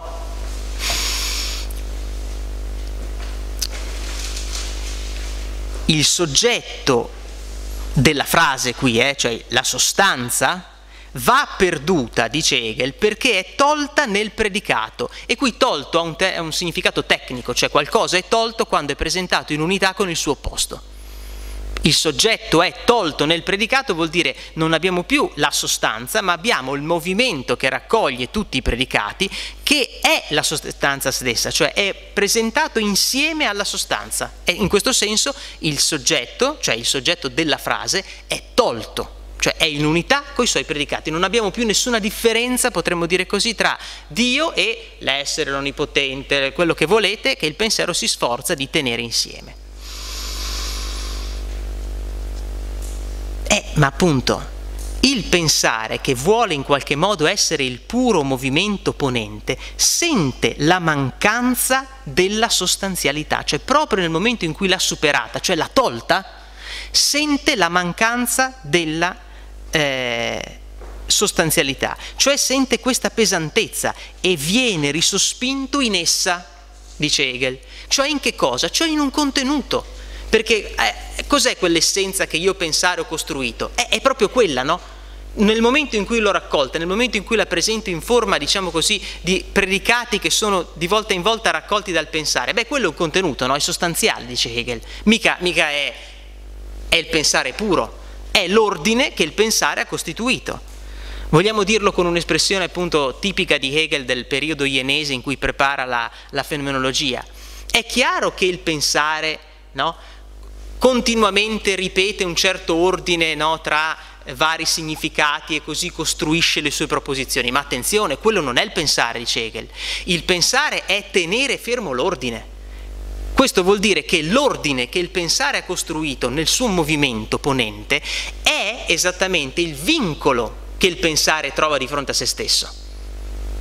Cioè, siccome io pensare ho ricostruito un certo ordine, io devo tenere fermo quell'ordine. Se io adesso vi dicessi pensare la sostanza non come soggetto, no, come vero, aspettate, cioè questo non è il pensare, no? Cioè io se voglio parlare di Hegel devo proprio dire intendere ed esprimere il vero non solo come sostanza, cioè io sto tenendo fermo un ordine, questo è il pensare. Ma è chiaro che il pensare nel fare questo è risospinto in in una forma sostanziale, no? cioè il pensare non può fare quello che vuole, proprio perché il fondamento ponente ha costruito un ordine che adesso lui è vincolato a rispettare. Questo è il contraccolpo, a mio avviso, ma insomma da quello che, che, si può intendere anche dai testi, credo, del, del professor Vitiello. Ora, questo termine, Gegenstoss, no? eh, contraccolpo, torna in una delle pagine no? Meravigliose della logica dell'essenza all'interno della scienza della logica, dove eh, questo contraccolpo viene presentato come il nucleo del movimento riflessivo, cioè della, appunto, della riflessione in quanto ponente. No?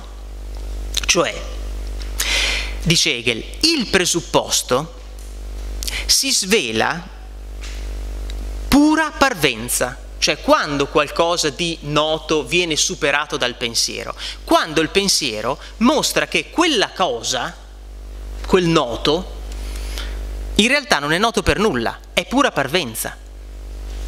C'è una bella espressione di spaventa qui che diceva, il dato, proprio perché è dato, anche un dato storico, so, ehm, Cesare è morto a Lady di marzo del 44, dice, eh, cosa vuoi dire?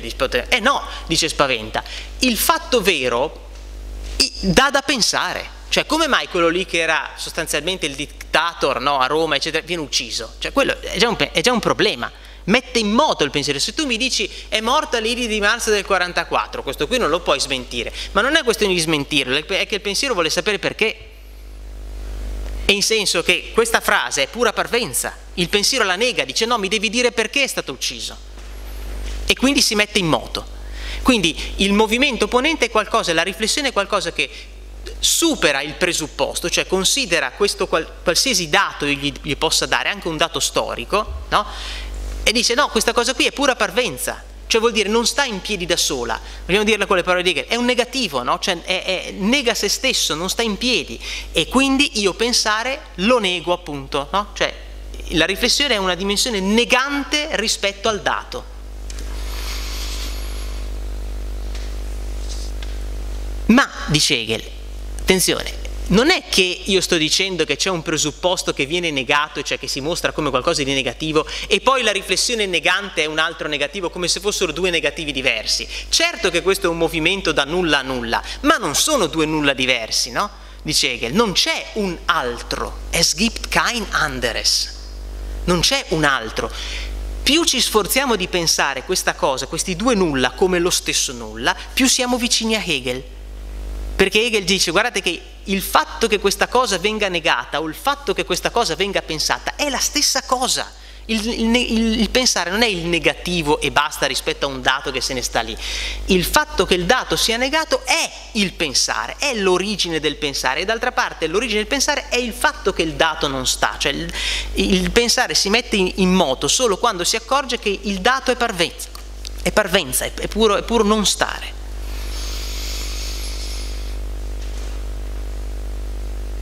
Ma dove se ne va sto, sto movimento ponente? Cioè ha abbandonato no, il presupposto, perché l'ha negato, quindi uno si immagina se è partito starà andando da qualche parte, cioè dove va a parare questo movimento ponente, no? cioè questo, questo movimento della riflessione che si è staccato dal dato e che dice no questo dato non mi basta, voglio altro, ma non c'è un altro, quindi dove va a parare? Dice Hegel, torna non può fare altro che tornare al fondamento, si diceva prima, non può fare altro che tornare al presupposto.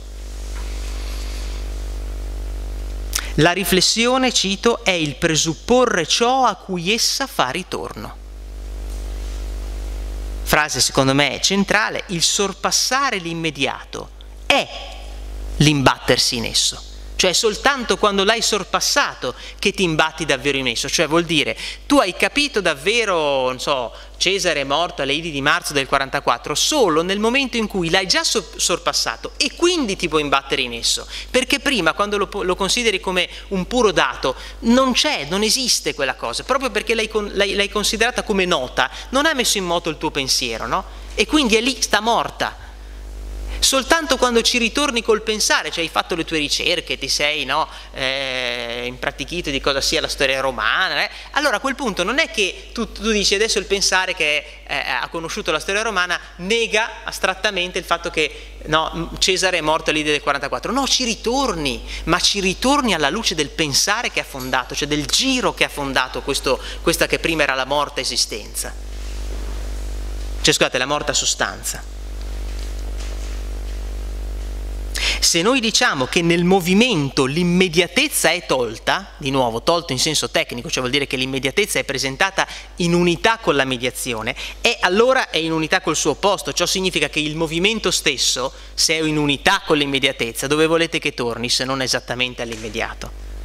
è il ritorno all'immediatezza. Ma questo è il contraccolpo, no? Cioè non è che il pensare se ne va da un'altra parte, il pensare torna da dove era partito. Non è che io dico adesso, no, nego che Cesare sia morto all'Idi del 44. Ben inteso, potrebbe anche essere possibile, no? Io faccio una serie di ricerche e scopro che magari non era vero. Questa possibilità me la dà solo il pensare. Ma tendenzialmente, diciamo, torni esattamente al, al presupposto, no? Cioè torni al punto in cui, sei, in cui hai cominciato. Se vogliamo dirla con Hegel, l'eguaglianza con sé della riflessione è quello che gli dà il sussistere. Cioè il sussistere che cos'è? È il movimento stesso che però fa ritorno all'immediato, non è che se ne va da un'altra parte rispetto all'immediato. Questo è il contraccolpo, cioè la riflessione non, non vaga, la riflessione tiene fermo l'ordine. La, la, la, riflessione abbandona l'immediato per tornare all'immediato stesso. E quante volte no, noi leggiamo in Hegel al termine della, della, eh, eh, della logica dell'essenza, questo è clamoroso, no? Cioè, la, il, la mediatezza è tolta, per, no? è, è tolta, per, il ricomparire dell'immediatezza. E, e, al termine della logica eh, soggettiva non è forse la stessa cosa, non c'è più no, il logo, ma il logo diventa natura, cioè di nuovo immediatezza. è un continuo no? ripetere questo, questa formula in Hegel. Che cos'è questa pesantezza? Cioè che cos'è questa pesantezza che a un certo punto costringe il pensare a ritornare? Cioè a ritornare potremmo dire così sui suoi passi ma oltre, no? Cioè certo che oltre perché adesso quella cosa è posta come presupposto, ma in realtà anche sui suoi passi, appunto non è un caso, no? E Benzosea, cioè non era solo un presupposto, ma è anche un posto, cioè qualcosa che io ho posto nella riflessione.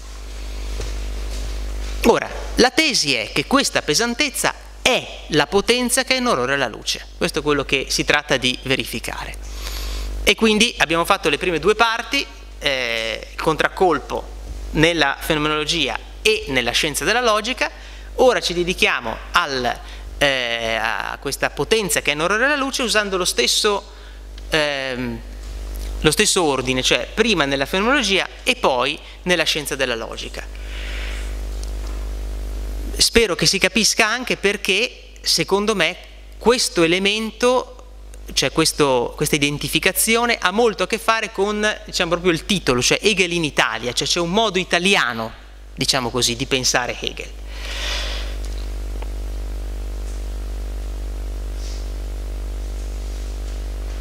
Allora, nella fenomenologia eh, teniamo conto che questo movimento del pensare viene frenato, no? Subisce questa pesantezza per cui ritorna un contenuto in qualche modo, questo è il movimento che abbiamo messo lì. Cioè c'è un'esigenza del pensare di darsi una forma sostanziale, cioè un ordine che stabilisce lui, ma una volta che l'ha stabilito non può dire faccio come mi pare, no, sono vincolato al, al sostanziale, cioè quell'ordine che ho posto. E Hegel dice come si comporta il reale nei confronti del pensare? Eh, il reale mica manifesta tutto al sé. Il reale lascia oscura una parte e in particolare non rivela al figlio che quel vecchio fastidioso con cui lui sta litigando al crocicchio e che adesso uccide è il padre Edipo tutto quello che sa è che c'è un vecchio che gli rompe le scatole e a questo punto lo uccide. Mica sa che è il padre. Non rivela in quella bellissima donna con cui questo uomo andrà a letto e avrà dei figli con lei che questa bellissima donna è la madre. Non glielo dice mica la realtà. No? Questa è appunto la potenza che ha in orrore la luce e che una volta che il fatto è commesso, no, coglie, dice Hegel, la coscienza in fragrante, cioè fa sì che la coscienza, quando si rende conto di quello che ha fatto, e ormai l'hai fatto. Non è che se ti rendi conto, questo è, è proprio il, il, nostro sentimento piccolo borghese no? che sta lì a chiedersi, ma Edipo era veramente colpevole? Perché se, era colpevole, se non sapeva come facciamo a dirgli colpevole? Ma mettetevi un po' nei suoi panni, ma perché se io scopro che ho ucciso mio padre, se mi dico, beh però non l'ho mica fatto apposta, eh, cosa cambia di preciso? Cioè è solo nella nostra assurda coscienza giuridica che diciamo, beh, effettivamente però non lo sapeva, eh. Beh, ho capito, ma anche ammesso che sono stato con mia madre a letto, però non lo sapevo, eh.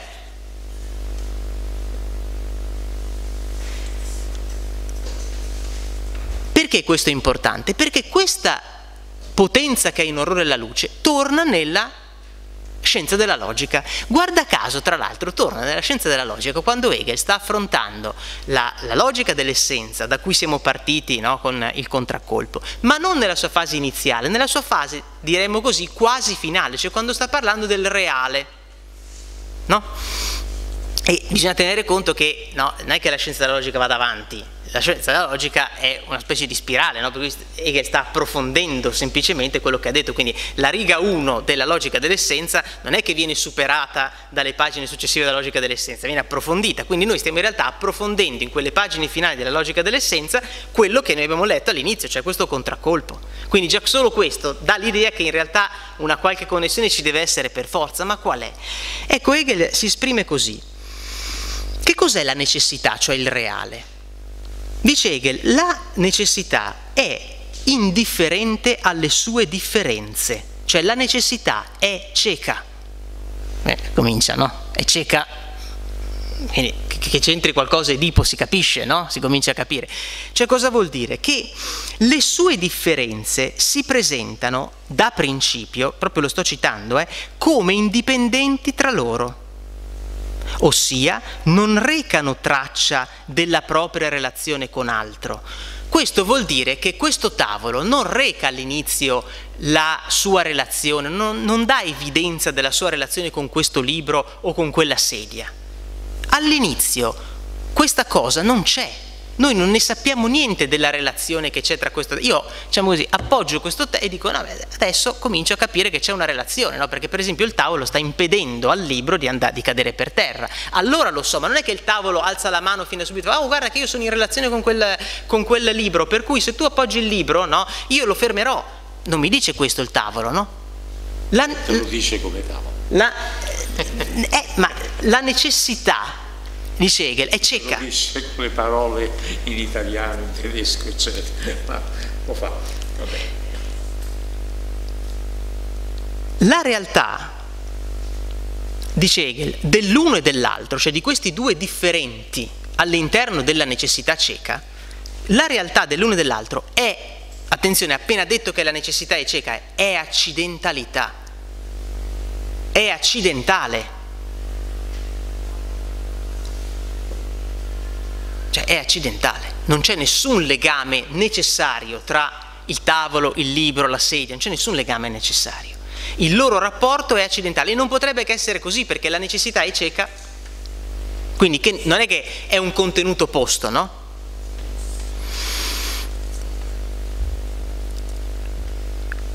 Ora, Hegel dice, questa accidentalità, questa accidentalità è la necessità è cioè l'essenza di quelle realtà libere. Cosa vuol dire l'essenza di quelle realtà libere? Nel senso che il pensare, quando può raccogliere il rapporto esistente tra il tavolo e il libro, tra il tavolo e la sedia, allora dice, ah aspetta, l'essenza di questo tavolo è il fatto che è in rapporto a questo, che non è per esempio questo libro, che non è questa sedia, che se provo a mettere la sedia qua il tavolo le fa resistenza, eccetera, eccetera. Questa accidentalità, potremmo dire così, diviene necessità nel pensare. Ora, dice Hegel, proprio questa essenza, cioè l'essenza che è questa necessità, questa ha in orrore la luce. Cioè, cosa vuol dire? Che il tavolo non mi manifesta fin dall'inizio che è in rapporto col libro, che è in rapporto con la sedia, no? Non me lo manifesta mica all'inizio. Non è che, dicevo prima, non è che mi alza la mano e dice guarda che è così. Me lo dice dopo. Che cos'è questo dopo, no? Questo dopo è il divenire, no? Nel divenire si manifesta l'essenza, perché c'è bisogno del divenire, c'è bisogno del tempo perché il pensare possa raccogliere l'essenza delle cose e costruirla e costituire quell'ordine che è la sostanza delle cose. Ma questo riferimento di Hegel all'accidentalità è centrale e qui comincio a venire al punto in cui, diciamo così, penso che davvero questo sia Hegel in Italia, perché Edipo quando si mette a indagare chi è il colpevole della peste a Tebe, dice io sono figlio della Tiche e Tiche qui è proprio la sorte, come mostrava benissimo Carlo Diano. Per questo c'è un modo particolare, di, secondo me, di pensare no, Hegel in Italia, perché tanti italiani si sono, si sono, interrogati su questa cosa qui. Diano mostra come in realtà eh, l'Edipo Re di Sofocle è la risposta che Sofocle dà dal punto di vista della sapienza tragica ad Anassagora. Ad Anassagora che aveva stabilito che il nuovo Dio non ci sono gli dei, come pensavano, eh, c'è un Dio solo, il Nus, che conosce. Questo è il nuovo Dio da cui Socrate, allievo di Anassagora, da cui appunto Platone, eccetera, eccetera. Ah sì, dice, dice Sofocle, questo Nus sarebbe il nuovo Dio, ti faccio vedere io che, che Dio è nel, nell'Edipo. Perché? Perché Edipo dice, io come ho risolto l'enigma della Sfinge, così risolverò il prossimo enigma, cioè perché c'è la peste a Tebe, chi è l'uccisore di questo? Lo farò io, io sono, sono figlio della Tica, no, no, non ero nessuno e sono diventato re di Tebe.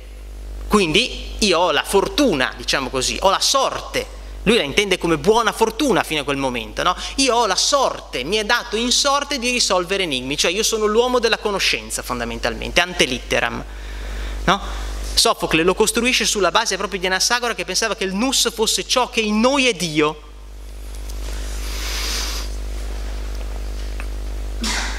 La manifestazione che cos'è in definitiva? È un tramonto cieco nell'essere altro. Il divenire è la riflessione, è l'apparire della relazione.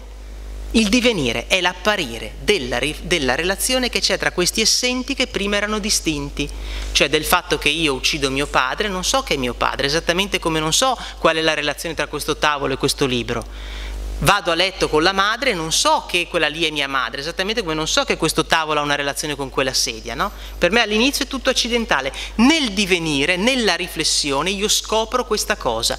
E cosa dice eh, Edipo quando capisce? Tutti gli altri hanno già capito naturalmente, no? anche Giocasta gli dice basta non indagare oltre perché hanno già capito tutti. Lui no.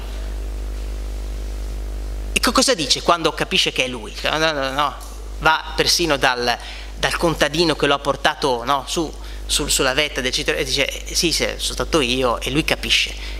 Le parole sono molto chiare, eh? dice preciso emerge il tutto. Cioè adesso ho la relazione di tutti i relazionati tra di loro, cioè ecco, adesso posso porre nel pensare la necessità, cioè quella che prima era relazione accidentale tra gli enti, adesso diventa necessità perché la so Ora, sul piano logico, pensate, pensateci un attimo, sul piano logico Edipo ha vinto, ha risolto l'enigma, ha trovato il colpevole. Domanda, e qui era il gioco di Sofocle no, contro, contro Anassagora, domanda, eh, sei sicuro che va tutto bene? Cioè nel senso, hai trovato il colpevole, peccato che il colpevole sei tu. Questo è il ritorno esattamente al presupposto. Tu Edipo puoi conoscere quello che ti pare, ma proprio il fatto che vuoi conoscere ti fa conoscere il fatto che tu da sempre sei parricida e incestuoso. Questo è il tuo presupposto, questa è la tua hemmung, questa è la tua pesantezza, no? l'ostacolo che il pensare si trova. Cioè, tu sei ribaltato contro di te, il tuo pensiero ti ha fatto tornare a quella roba da cui non ti schioderai mai, perché non è che la sai, perché lo sai.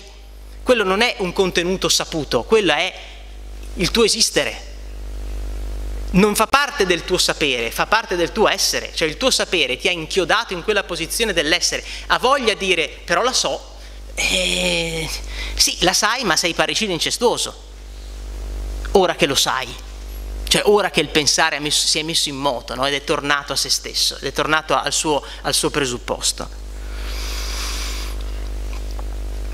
Cioè appunto qui pensare e essere Ecco, il professor Vitiello in realtà in eh, Hegel in Italia mostra già come il tentativo di Hegel sia quello di risolvere questa distanza tra essere e pensare nella eh, logica soggettiva, ovviamente soprattutto nella dottrina del sillogismo e tra l'altro così eh, nel 2016 tornerà un articolo apparso sul pensiero proprio su questa necessità che Hegel ha di eh, oltrepassare eh, questa distanza, di, di cercare di riconvertire davvero l'essere nel pensiero senza lasciarlo fuori, proprio all'interno della logica soggettiva e cioè del sillogismo. Allora, non potendo rifare tutto il percorso, io sintetizzo il percorso con una riflessione che non è quella del professor Vitiello, è di un amico molto caro al professor Vitiello, che è Carlo Sini, e che mi permette di essere molto più, diciamo così, sintetico per motivi proprio di tempo. Il punto focale è l'ultima figura del sillogismo che come tutti sappiamo è il sillogismo disgiuntivo. Il sillogismo disgiuntivo si presenta nella seguente forma. A è o B o C o D. Ma A è B, quindi non è C e non è D. Punto? No. Oda, cioè oppure, dice Hegel, oppure A è o B o C o D. Quindi la premessa maggiore è sempre la stessa. Ma non è né C né D, quindi è A. Qual è la differenza tra questi due? La differenza è che tra queste alternative, nel primo caso ho detto A è B, cioè lo sto mettendo sul piano dell'essere. A è B, quindi come conseguenza, se vogliamo porla logicamente, frega quasi niente a nessuno, perché tanto ormai lo sai che è B, però non è né C né D, per, diciamo così, per completezza diciamolo. Nella seconda formulazione non è né C né D, cioè è il pensare che pone delle relazioni, no? Cioè è il pensare che, che dice è il negativo, no? Che se, non sto dicendo A è B, ma sto dicendo non è né C né D, quindi è A, cioè è la deduzione del pensiero che riesce ad arrivare ad A, non perché, che riesce ad arrivare a B, non perché sa fin da subito che A è B, escludendo gli altri, ma siccome esclude gli altri, a un certo punto dice quindi, dal punto di vista invece dell'essere, no, questo A è B. Cioè nell'oda, nel, oppure in queste due versioni, altrimenti non si chiamerebbe disgiuntivo naturalmente, c'è la posizione dell'essere e la posizione del pensare. E Sini propone, ma non potremmo tradurre questo oda hegeliano con il sive spinoziano? E qui sta in realtà la mia domanda per il professor Vitiello. Ormai, diciamo così, tutta la fatica l'ha fatta Sini, quindi io faccio giusto proprio un, passettino, no? E dico, non è che potremmo tradurre quell'idem che c'è tra l'ordo rerum e l'ordo idearum, no? Ordo et connexio rerum, idem est, ac ordo et connexio idearum. Quell'idem non potremo tradurlo in tedesco con eben so sehr, cioè con l'altrettanto bene.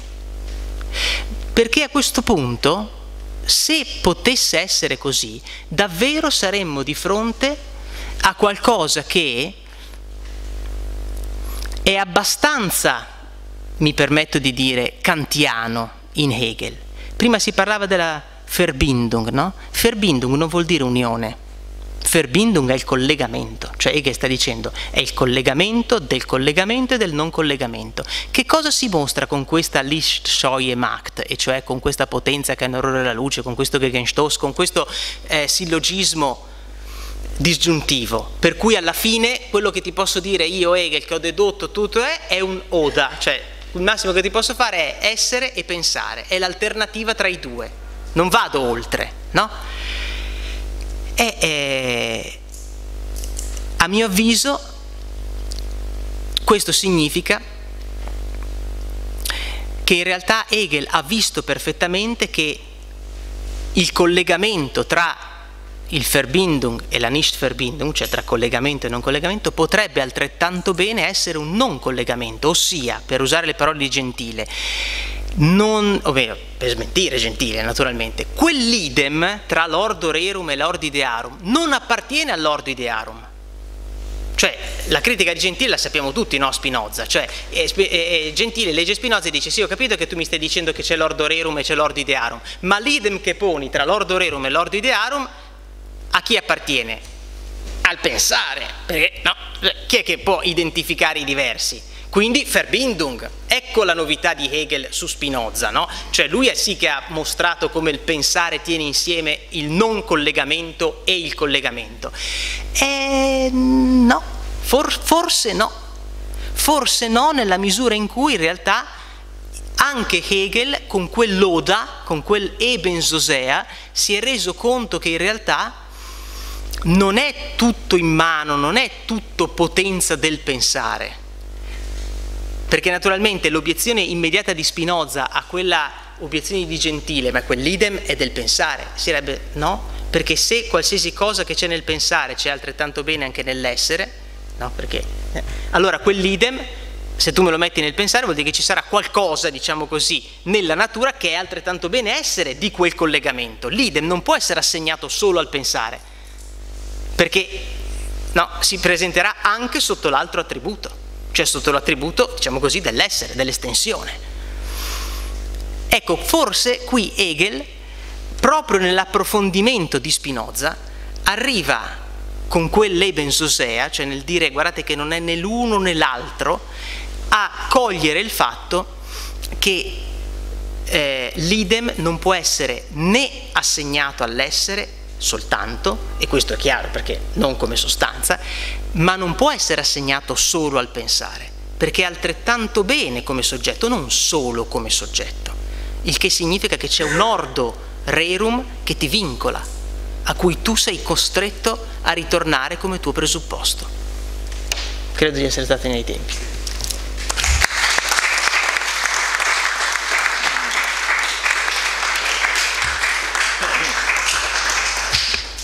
Ringrazio il professor Valagusta e se il professor Vitiello vuole... Sì, una sola cosa voglio... Che tutto questo che viene costruito in questo modo viene costruito, come dire, sempre dopo. Un dopo, la verità di A e B, la verità, o se vuoi, la verità di 1 e 2, la verità di 2 e 3 e così via di seguito, eccetera. Ecco, come si spiega questa la, la relazione che hai fatto tu, questo qui, è quello che toglie la Licht Shoye, è quello che toglie, che rende tutto visibile, come viene detto, non avere, eh, però, però, il fine ultimo vuole essere proprio quello, in Hegel vuole essere proprio quello, perché tutta la parte che mi hai detto tu, ma la gradisco molto, dico soltanto che questo modo di ragionare eccetera eccetera illustra in un'altra forma quello che aveva detto Kant. Ma non, non, mi interessa adesso vedere chi è primo, chi è secondo eccetera. Mi interessa però questo. Ma dove metti allora in questo, in questo modo in cui la Lichte Scheue non viene mai superata del tutto perché se insomma fa parte alla fine alla fine non viene sciolto del tutto. Alla fine non stai, non stai dicendo questo, non hai detto questo.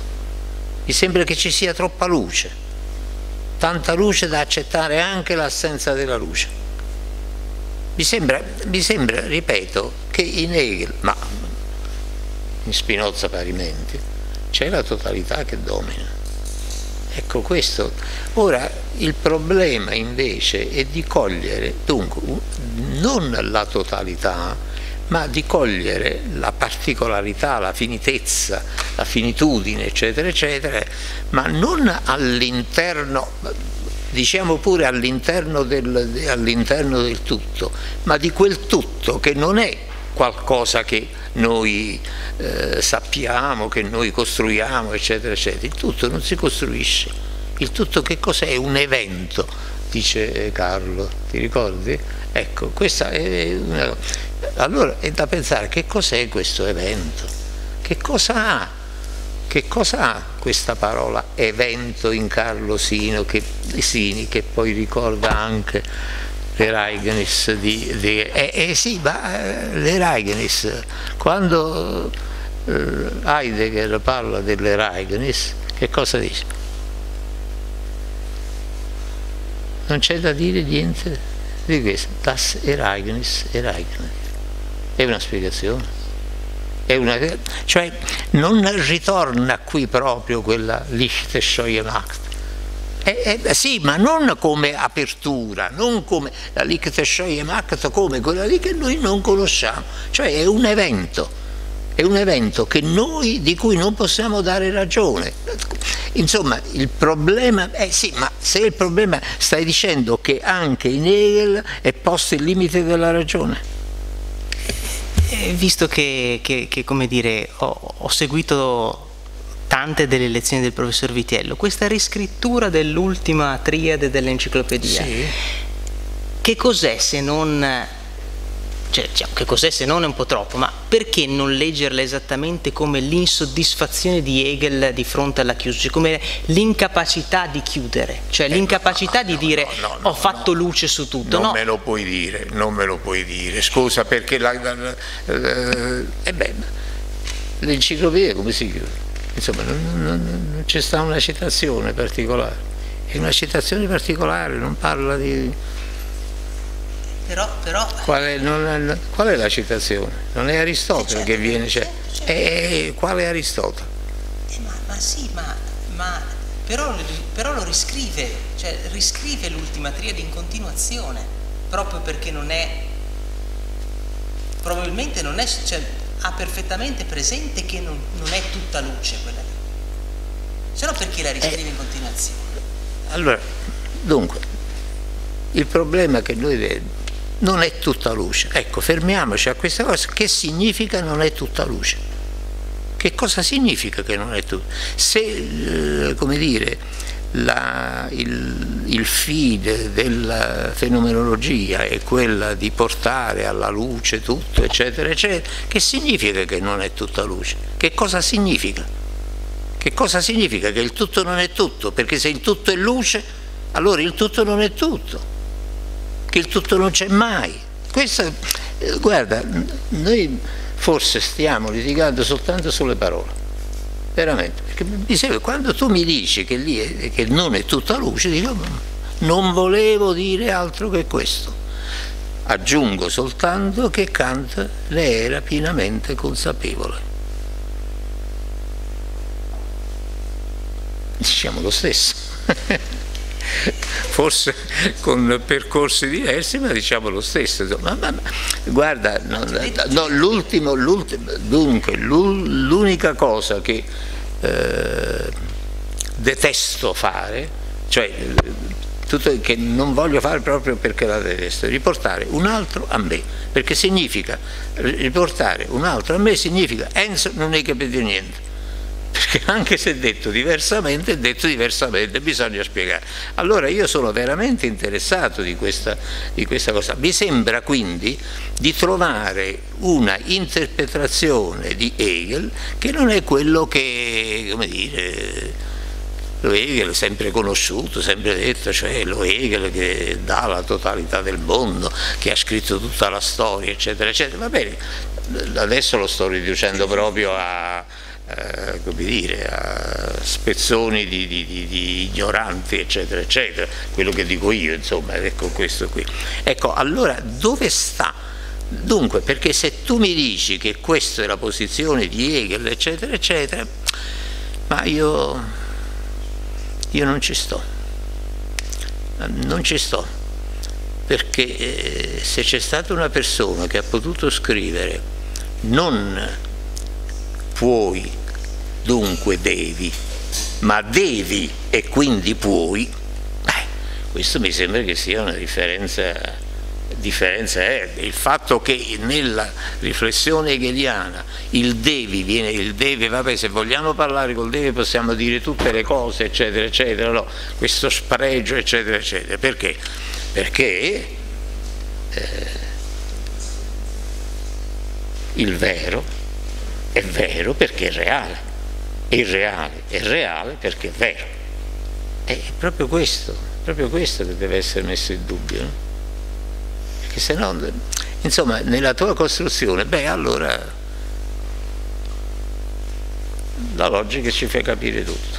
Ma non ho questa fiducia, se vogliamo dire così. La logica ci fa capire tutto. La Lichte Scheimacht non è un elemento negativo. Dunque, la Lichte-Scheimacht non è una contraddizione di Hegel, il fatto di andare a trovare la contraddizione è una cosa stupidissima. Dunque, il problema è che in Hegel alla fine la Lichte-Scheimacht individua l'elemento di limite della ragione umana. E allora non possiamo fare... Dunque, da questo punto di vista c'è anche una eh, come dire, una riflessione, credo che questo sia non soltanto un dialogo eh, come dire, di filosofia, di queste astrazioni, il tutto, eccetera, eccetera, credo che questo abbia una, come dire, un, una potenza nella, nel, nella comprensione della storia del mondo nella comprensione dei limiti della cultura greca, eccetera, eccetera, che ha esaltato il rapporto potere-sapere.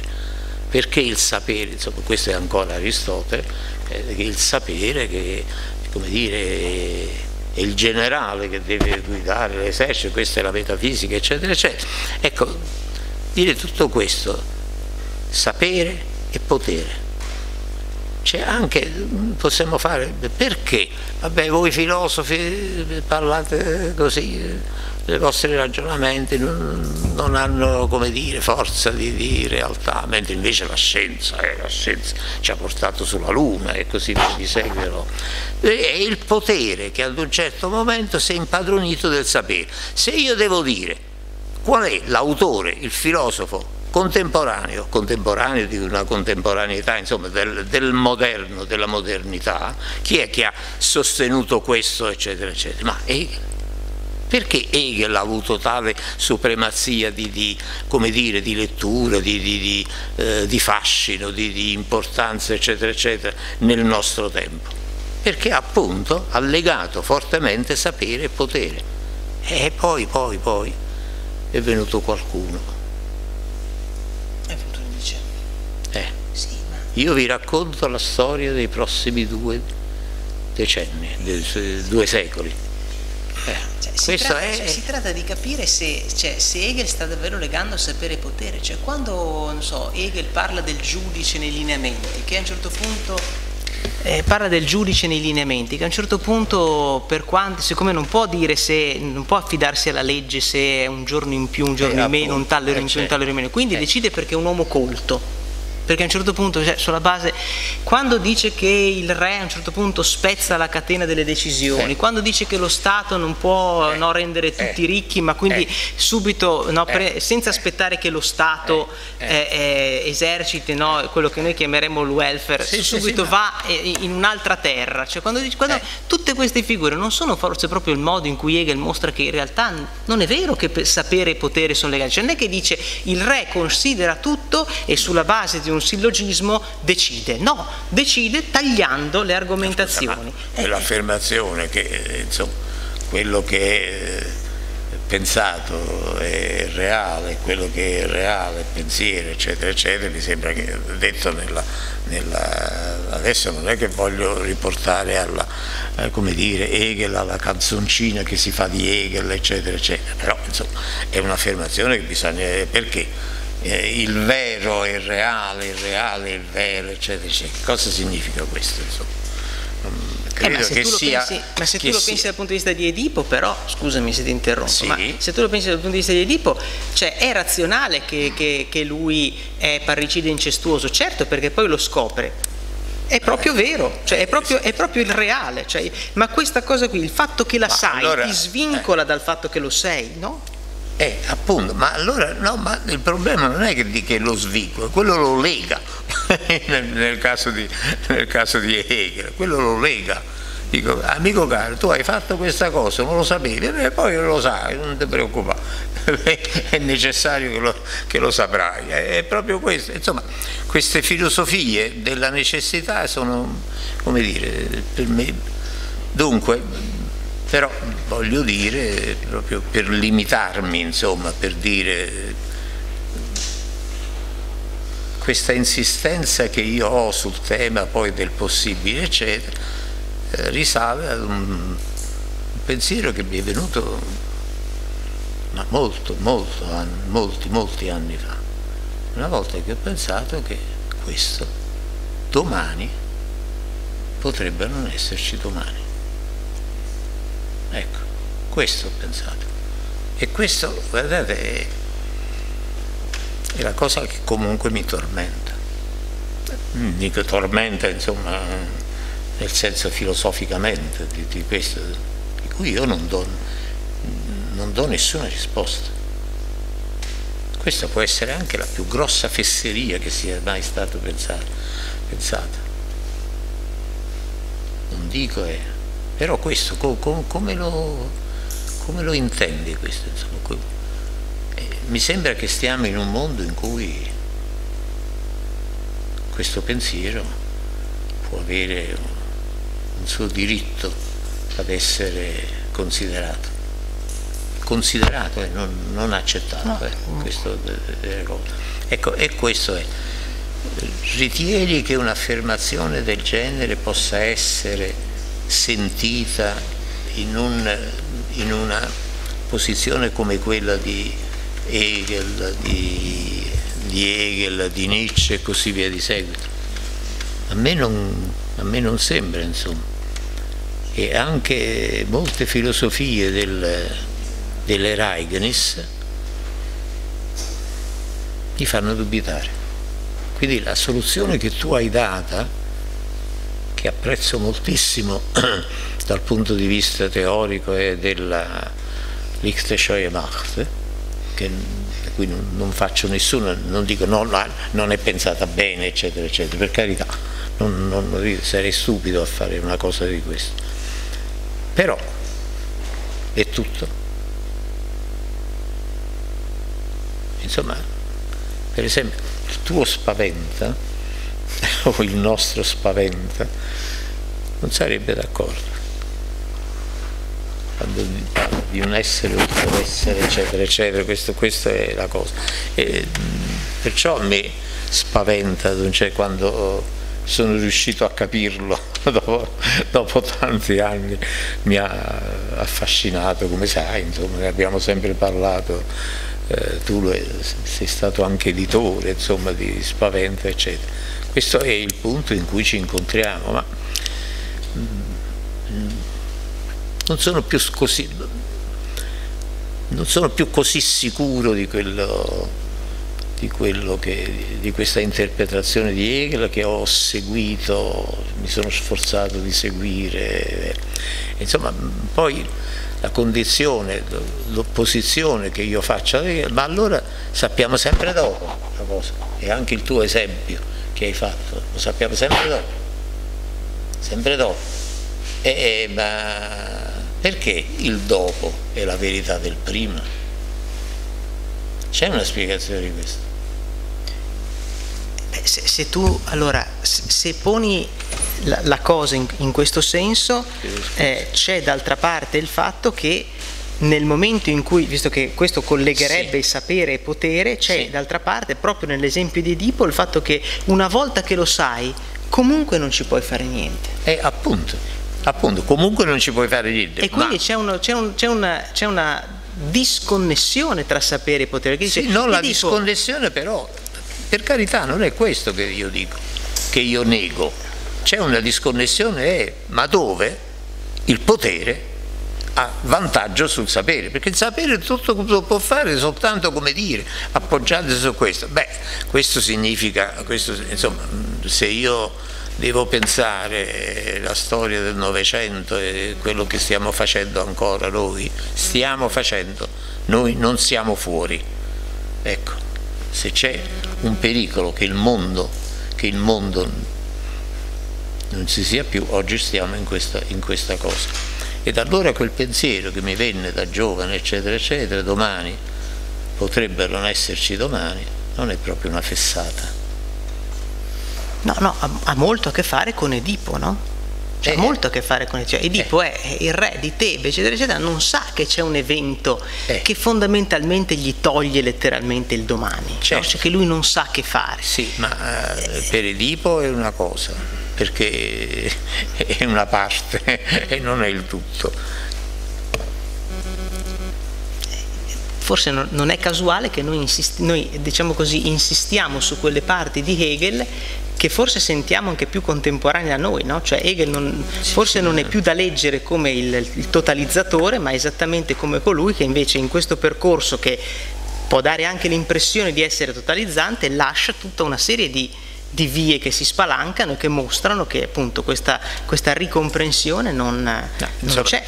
Sin dall'introduzione della fenomenologia dello spirito si dice che il tutto verrà chiarito che alla fine è che tutta la fenomenologia, tenete presente anche questo, tutta la fenomenologia, la fenomenologia che vuole essere il corso del pensiero che a un certo momento riesce a spiegare anche se stesso, eccetera, eccetera, la Offenbarung, eccetera, del tutto, eh, questo è un presupposto. Da che cosa lo dimostra? Questo qui è fuori della... insomma, se, se, B mi spiega A e C mi spiega B, eccetera, eccetera, eccetera, alla fine potrei dire, vedete che il tutto spiega le parti, eccetera, eccetera. Sì, ma il tutto da chi è spiegato? Eh, la mediazione Quando si pone la mediazione come la capacità di spiegare i mediati, eccetera, eccetera, la domanda che si pone, che ho posto variamente, eccetera, eccetera, ma mi sembra in forma troppo astratta, è la mediazione. Perché cosa è mediata? Il terzo sillogismo dello, eh, vuole rispondere a questa domanda, sì, il terzo, ma il terzo è l'unico. Eh no. Chiedo scusa, ma io, come dire, vorrei dire che questa è la mia gratitudine, insomma, che voi, insomma. Io ho appreso, e già che qui ci sono anche molti miei allievi, adesso colleghi, eh, io ho appreso da loro, ho un debito con loro che non, che non credo posso, come dire, risolvere dopo, insomma. anche perché non ritengo che la verità è quella che io dico, vere sono le mie parole se vengono accettate come tale dagli altri. Ma e voi chi dite che io sia? E questo è un insegnamento che io continuo a dire non sono io la verità di me stesso, sono gli altri che mi danno verità. Quindi tutte le cose, se, se, potete dire adesso, hai detto solo fesserie e io ho, detto solo fesserie. Insomma, è, il problema è questo, insomma. altrimenti il fatto del dialogo eccetera, eh, sono tutte, tutte finzioni, diciamo, eh, eh, dialogare eccetera eccetera. No. Io non ritengo di essere, e voi chi dite che io sia? Insomma, capite questa domanda? Eh. Questo è, dico questo come la forma poco, come dire, significativa del mio ringraziamento a tutti voi.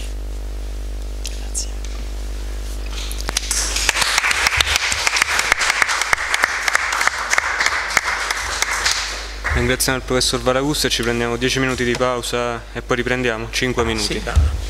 Poi c'è il professore Adinolfi. Senti, ci sta uno che mi picchierà forte, che voglio sentire. allora ricominciamo. E Cedo subito la parola al professor Adinolfi, docente di filosofia teoretica all'Università Federico II di Napoli che ci parlerà appunto dei limiti del possibile tra, tra Hegel e Spinoza e poi lasceremo direttamente spazio al dibattito. Non, non lasceremo spazio al dibattito perché temo che, anzi io lo farò apposta a finire alle 7 meno un minuto in modo da impedire qualunque dibattito. Eh, a, a, cominciare dal titolo della relazione, perché se l'ho dato io ero molto stanco, non l'ho dato io, ah ecco perché mi dicevo, cavolo, eh, ho dato un titolo che nelle, ha due parole nel titolo che non sono spinoziane, nel limite, nel possibile, possibile ho dato un titolo simile, eh, però mi, mi atterrò comunque allora alla traccia segnata, e cioè eh, proverò a dire qualcosa su Spinoza e Hegel a partire, e qui è, è un piccolo divertisman che mi sono permesso, da una nota di Enzo Vitiello, no? quindi la mia sarà una nota su una nota di Enzo Vitiello, cioè il famoso saggio di, di Derrida, una nota su una nota di Simon Sight, e io faccio la mia nota su una nota di Vitiello. Ehm, e come quella nota peraltro era una nota lunga, impegnativa, è la prima cosa che Derrida sottolinea, così io mi sono scelto la nota più lunga che c'è in un testo che in realtà non è dedicato, almeno eh, formalmente, né a Spinoza né a Hegel, perché si tratta del lungo, lunghissimo, 170 pagine di saggio introduttivo alle tre edizioni della Scienza Nuova di Vico pubblicate da Bompiani.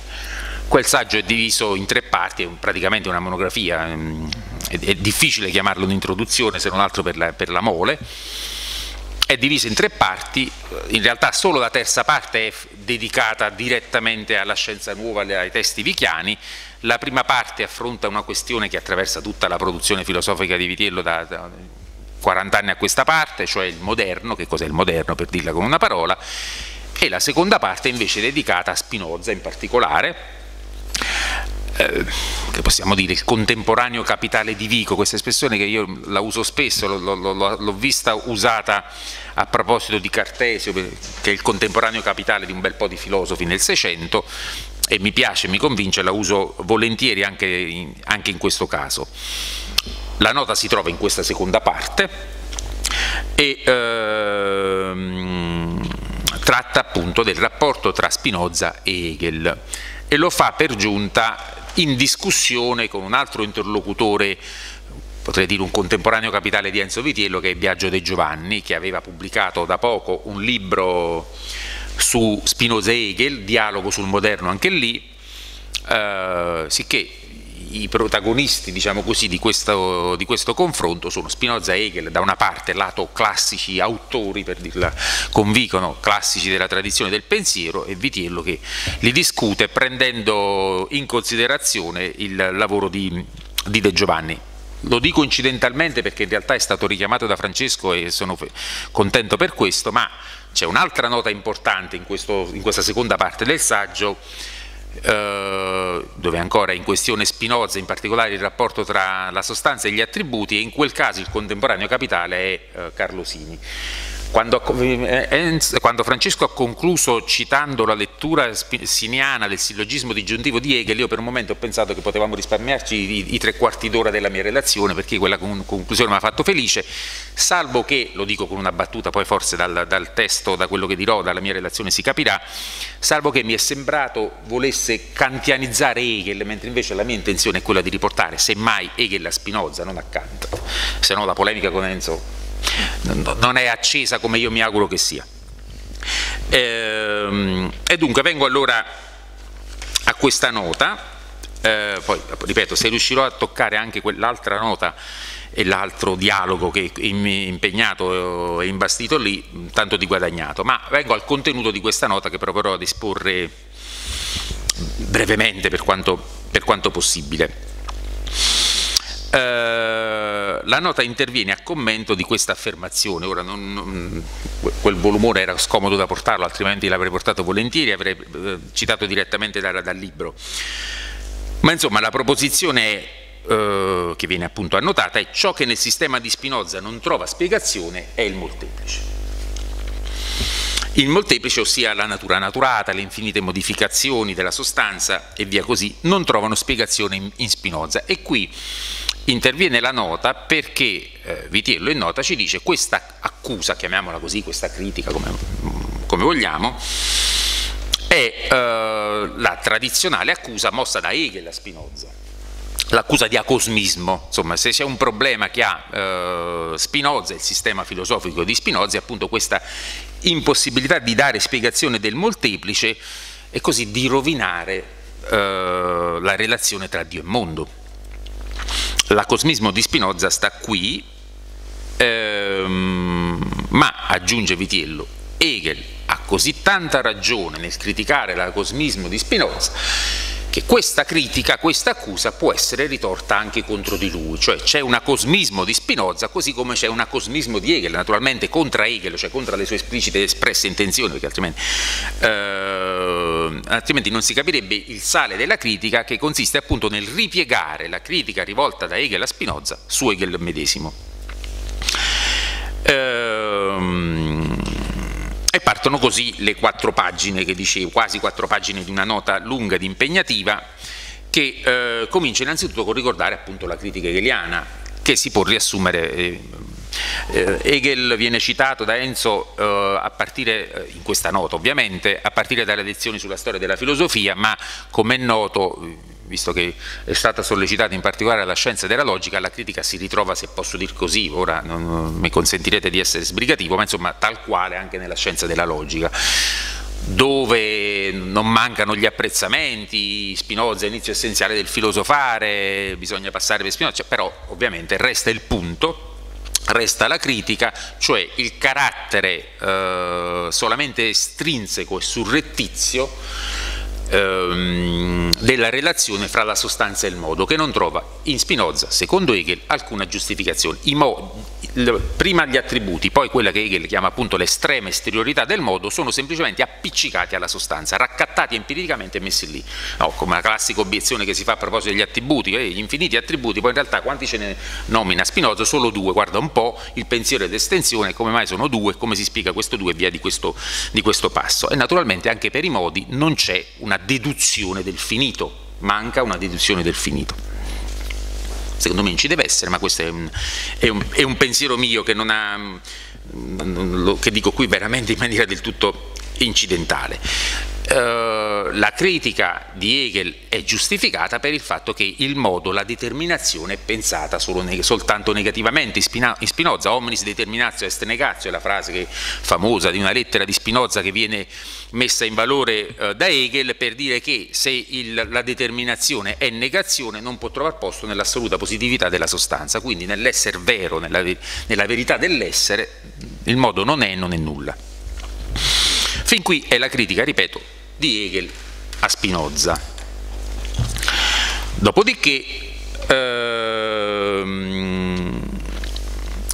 bisogna ripiegare, come dicevo prima, come è scritto nella, nella nota, questa critica eh, a danno di Hegel, di Hegel medesimo.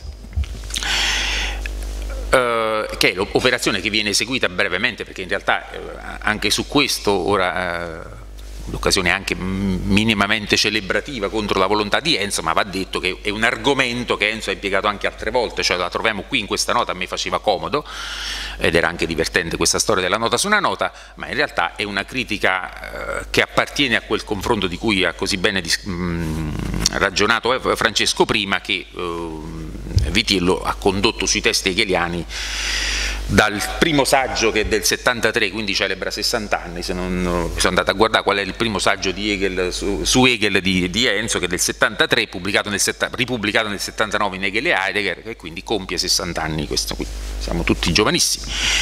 Eh, allora, perché, perché, si può ripiegare questa eh, accusa eh, e muoverla a Hegel stesso?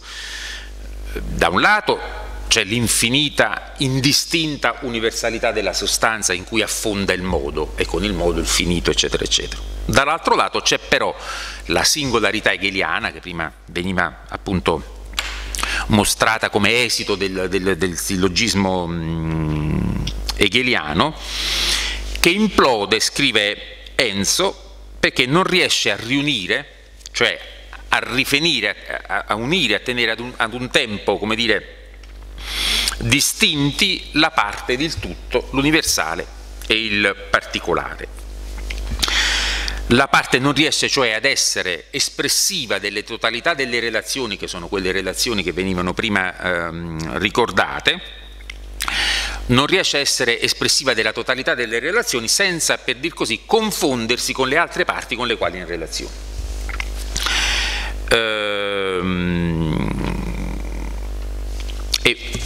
non, ora mi, accorgo di non aver citato le parole eh, precise di, mm, di, Enzo, ma l'alternativa che si presenta in maniera del tutto eporetica ho provato a riassumerla così. O l'altra parte con cui ha in relazione, nel sillogismo che prima veniva ricordato, mantiene un'esteriorità rispetto alla prima, ma allora l'una non può valere come il concetto universale, come l'universale concreto, oppure non mantiene una simile esteriorità, ma allora proprio perciò precipita nell'indistinzione. Nelle parole che ora non ricordo letteralmente, ma più o meno e che Enzo riconoscerà, eh, con le quali questa aporia viene evidenziata, se A deve essere in relazione a B, deve essere in relazione anche con la relazione che B intrattiene con A. Ma a quel punto non c'è più alcuna prospettiva distinta di A da B e tutto precipita nell'indistinzione. Per dir così, eh, nel singolare l'universale, la totalità delle parti collassa letteralmente. È importante aver presente che non si tratta di un difetto di argomentazione, cioè non è che Hegel non costruisce bene il suo sillogismo, almeno non è questa l'intenzione con la quale viene evidenziata la la difficoltà logica, ma si tratta per l'appunto di una difficoltà logica, cioè di una difficoltà del logos, di una difficoltà della cosa stessa. Mm. E questa, di nuovo per l'occasione vale la pena dirlo, è una uh, osservazione che in genere riguarda tutti, proprio la maniera di leggere i classici che, che, alla quale insomma, eh, Enzo ci ha educati, perché non si tratta di mostrare, faccio per dire, la potenza che è in orrore la luce, ha interessato, se non, se non ho capito male, eh, Enzo nella misura in cui mette, mette, in evidenza qualcosa che rimane non risolto in Hegel ma perché non può esservi risolto se non cancellandosi come potenza che è in orrore della luce. E di nuovo si tratta quindi di una difficoltà strutturale diciamo così eh, la cui soluzione è la, è la cui cancellazione per dirla in una parola Ehm, quindi non, non, si fanno le pulci diciamo così, ai grandi filosofi, si mettono in evidenza quelle aporie che danno da pensare, quello che rimane da pensare all'interno di pagine che proprio perciò in virtù di queste contraddizioni mantengono la loro forza. Torno però alla nota. Dopo aver mostrato il collasso tra finito e infinito nelle, nei due versanti, o perché il particolare si eh, annega nell'universale o perché l'universale implode nel particolare, precipita e collassa nel, nel particolare, viene preso in considerazione anche la, il tentativo che De Giovanni conduce in un saggio che viene giustamente giudicato originale, che è notevole anche solo per l'età in cui è scritto, il saggio, il saggio di De Giovanni, il tentativo di mantenere, diciamo così, una relazione tra infinito e infinito, tra infinito e finito, chiedo scusa, in cui il finito non sia semplicemente assorbito dall'infinito. Questo è il tentativo che fa De Giovanni giocando Spinoza, metteteci un po' di virgolette, contro Hegel, in dialogo con Hegel, c'è una parte che è effettivamente dialogata nel libro, e dove, dove, sta la proposta di, di, di, De Giovanni? Nel pensare proprio la negatività del finito come ciò che mantiene il finito a distanza dalla positività del finito e ne impedisce la risoluzione nell'infinito, come se l'infinito fosse per dir così solamente lo spazio aperto in cui il finito in quanto negativo si tiene a distanza del, dalla positività del finito. Lettura originale ingegnosa, nota Vitiello, che però non impedisce all'aporia di ripresentarsi. Se infatti la distanza è vera, se cioè il finito che la pone con la sua domanda, si potrebbe dire così che il finito è la domanda sull'infinito, sorge come domanda sull'infinito, e allora se è il finito che pone la distanza con la sua domanda, allora è necessario riconoscere che l'infinito è solo una posizione del finito, è solo un'immaginazione del finito, per usare un termine spinoziano come in Kant potremmo dire, un parto dell'immaginazione. Se invece è posta veramente quella distanza, cioè se è posta dal punto di vista dell'intelletto, dal punto di vista della scienza dei, di, per, di nuovo per usare termini spinoziani, allora essa è anche già stata da sempre tolta e superata, naturalmente. Insomma, se quella distanza c'è, non c'è l'infinito, ma se non c'è, non c'è il finito. Se non c'è la distanza, non c'è il finito. Se c'è la distanza, non c'è l'infinito e questa situazione è costitutivamente aporetica. E per questo conclude Vitiello e anche qui proprio con questo spirito di ricapitolazione generale, a me pare di poter dire che questo famoso pendolo che oscilla tra Hegel e Kant ha trovato per questo sua, eh, il suo ultimo battito in Kant, si tratta di ritornare, di fare quel passo famoso a Kant dopo Hegel o anche a Cartesio dopo Spinoza.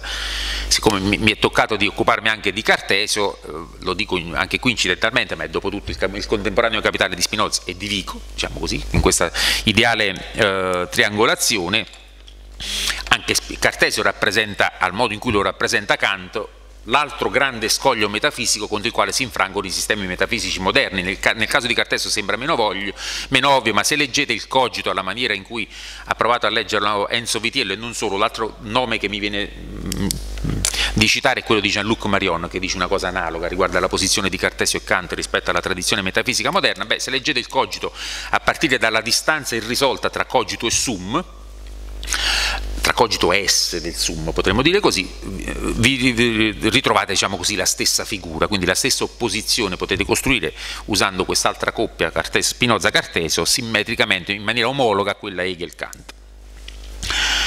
Ehm, e dunque siamo riportati, dicevo, a Cartesio e a Kant e siccome, e così la, la, la, finisco e poi vengo al punto che mi interessa, e siccome si tratta pur sempre di una nota ad un saggio su Vico in cui si introduce Vico, siamo riportati anche al Vico che non a caso Enzo prima ha richiamato in uno dei passaggi della discussione eh, che ha avuto prima dopo l'intervento di Antonio, siamo riportati al Vico che converte la necessità metafisica del dovette, queste sono parole di Enzo, del dovette, deve, dovrà della storia ideale eterna in un imperativo morale religioso, in una forma di pietas e così si conclude proprio il saggio, così vi ho restituito io anche la conclusione del saggio della cui nota mi sto, mm, mi sto occupando, è il Vico che fa esperienza dei limiti della scienza nuova dei limiti della scienza nuova. E si potrebbe dire così, con una formulazione che scimmiotta Enzo, se ogni scienza del limite, del finito, toglie il finito, allora non vi può essere scienza del limite. E questo è appunto il limite della scienza. Questo è già detta con altre parole, ma con questa idea che il limite è la consapevolezza dell'ignoranza del limite, è già detto in topologia del moderno. Se, vi può, se, vi del, se non vi può essere scienza del limite, è questo stesso il limite della scienza. Ho riassunto la nota salvo un passaggio, sul quale ora mi soffermo e che cito per intero. Chiedo scusa anche questa citazione è un po' lunga, ma tanto arriverò alle 7 meno 5 minuti, non meno 1 ma meno 5. Scherzo, spero di finire prima. Mi sembra vada oltre il segno, eh, sono parole di Enzo, mi sembra che vada oltre il segno l'argomento che per Spinoza la posizione della sostanza non è altro, il, non, non altro è che il riconoscimento del mondo, altro nome per indicare il medesimo che eh, la sostanza, il deus si venatura e così via. Non è altro che il riconoscimento che il mondo c'è, cioè eh, qui sta prendendo di mira, ho letto, ho letto, male con poca espressione, sta prendendo di mira la tesi che in fondo la dimostrazione della sostanza di Spinoza non è altro che la dimostrazione della precedenza del mondo rispetto ad ogni, altro, ad ogni tentativo di dimostrarlo. Questo argomento, così come l'ho riformulato, si capisce ancora meglio, che in buona sostanza ripete la tesi heideggeriana che l'Interweltsein precede ogni possibile dimostrazione del mondo e dell'essere nel mondo, è la famosa tesi che in Sein sa, Heidegger dice stiamo ancora con la dimostrazione dell'esistenza del mondo quando il vero scandalo non è che manchi questa dimostrazione ma il fatto che si ritenga di doverlo dimostrare perché in realtà il mondo precede ogni tentativo di dimostrarlo. Ecco, questo argomento, questo tentativo di riciclare un verbo um, ancora più spudorato, di ricicciare la, la dimostrazione spinoziana dell'esistenza della sostanza in questa forma come una dimostrazione della presupposizione e precedenza assoluta del mondo, questo argomento, valido per una filosofia del finito quale voleva essere quella di Heidegger, ma aggiungo subito, valido fino a un certo punto, che l'affermazione del mondo come presupposto del finito non è essa stessa finita, questo argomento non lo è affatto per una filosofia che intende porre sé a fondamento di se medesimo, la ragione cioè a fondamento della ragione. Cioè, volete pure rigirare così la frittata, proponendo la dimostrazione dell'esistenza della sostanza come una dimostrazione della precedenza del mondo rispetto ad ogni dimostrazione della ragione?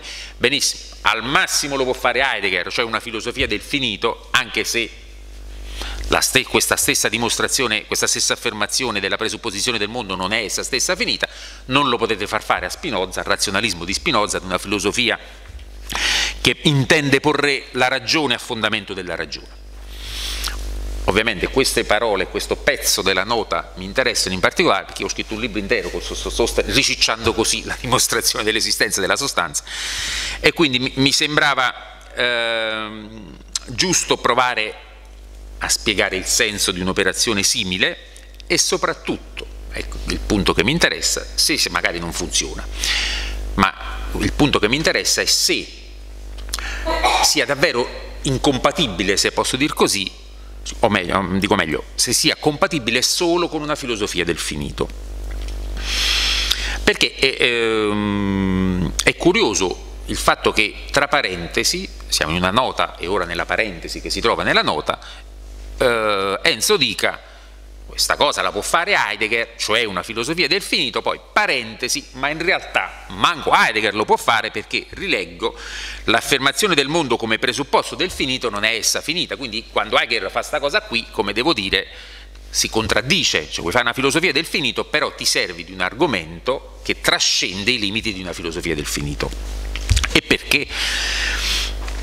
Perché l'immanenza dell'Inderweltsein heideggeriano non può costituire per Vitiello lo sfondo di una filosofia del finito. Perché finito significa trascendenza, naturalmente significa trascendenza come problema. Prima con, ad Antonio Enzo ha detto, ma il numero che fine ha fatto? non, non, non, l'ho letto, non, l'ho letto, da nessuna parte, non l'ho sentito da nessuna parte, ecco. perché finito per Enzo vuol dire trascendenza, trascendenza come problema e non come soluzione, dicevo. E questo vale anche nella lettura di Heidegger, nell'individuazione dello strato cristiano, è una delle cose se posso dire così, più belle che io abbia letto su Heidegger, ma anche di Enzo, il modo in cui legge Sein und Zeit e vi ritrova appunto lo strato greco e lo strato cristiano. No? E, quindi finché rimaniamo nello strato greco, l'immanenza del mondo, l'Interwelt Sein, non tocchiamo la questione del finito vera, che si apre solamente quando tu pensi l'abisso di quel mondo. E quindi la tradizione cristiana, paolina, la fenomenologia della vita religiosa e via così. Ma se così stanno le cose, perché questo rilievo critico, critico ora nei confronti di Heidegger, così decisivo, è collocato solamente nella parentesi della nota?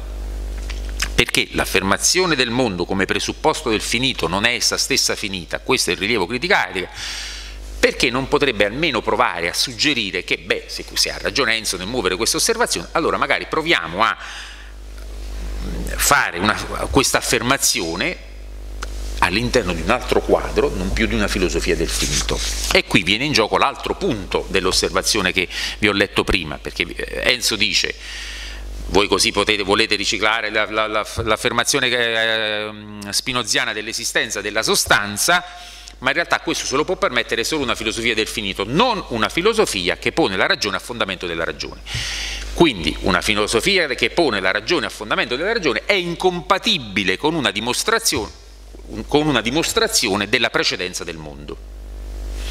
Questa povera precedenza del mondo è incompatibile con una filosofia che pone la ragione a fondamento della ragione ed è incompatibile pure con una filosofia del finito perché appunto, come abbiamo visto, va oltre i limiti del finito, quindi sembra che non si possa proprio fare questa affermazione della precedenza del mondo. Eh, il che è curioso perché a me sembra, come devo dire, lo dico scherzosamente, mi rendo conto che non è un argomento, mi sembra la prima e più evidente evidenza che noi abbiamo a disposizione, la prima e più evidente evidenza che noi abbiamo a disposizione, che il mondo ci precede.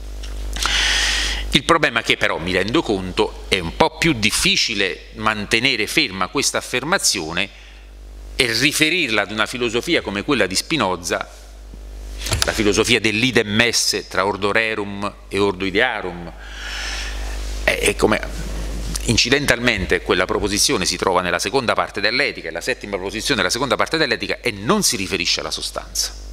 Però sono d'accordo nella, nella di nell'osservazione che veniva fatta da Francesco, sono assolutamente d'accordo, quell'idem non appartiene al pensiero, non appartiene semplicemente al pensiero. Ma ora non deve essere questo un seminario su Spinoza e quindi queste cose posso ehm, lasciarle, las, lasciarle cadere. Ehm, la prima cosa che vorrei notare, che qui ho notato, mi, mi scuso se appare una, dire, una considerazione solamente lessicale, è che io ho difficoltà a descrivere la filosofia di Spinoza come una filosofia che pone la ragione a fondamento della ragione, perché fondamento, così come totalità, anche totalità, sistema, persino assoluto, non sono parole che si trovano in Spinoza, ora eh, vi sorprenderà la cosa, ma non si trovano in Spinoza. Totalità, o meglio, la parola totalità compare per essere criticata. La parola assoluto c'è, credo che tutti quanti se la sanno, ma sempre come aggettivo e mai come sostantivo. Non esiste il sostantivo assoluto in Spinoza qualcosa dovrà pur dire, cioè, naturalmente la prima cosa che voler dire è che noi prendiamo questi, questi vocaboli, li prendiamo da Hegel, cioè noi hegelizziamo la lettura di Spinoza,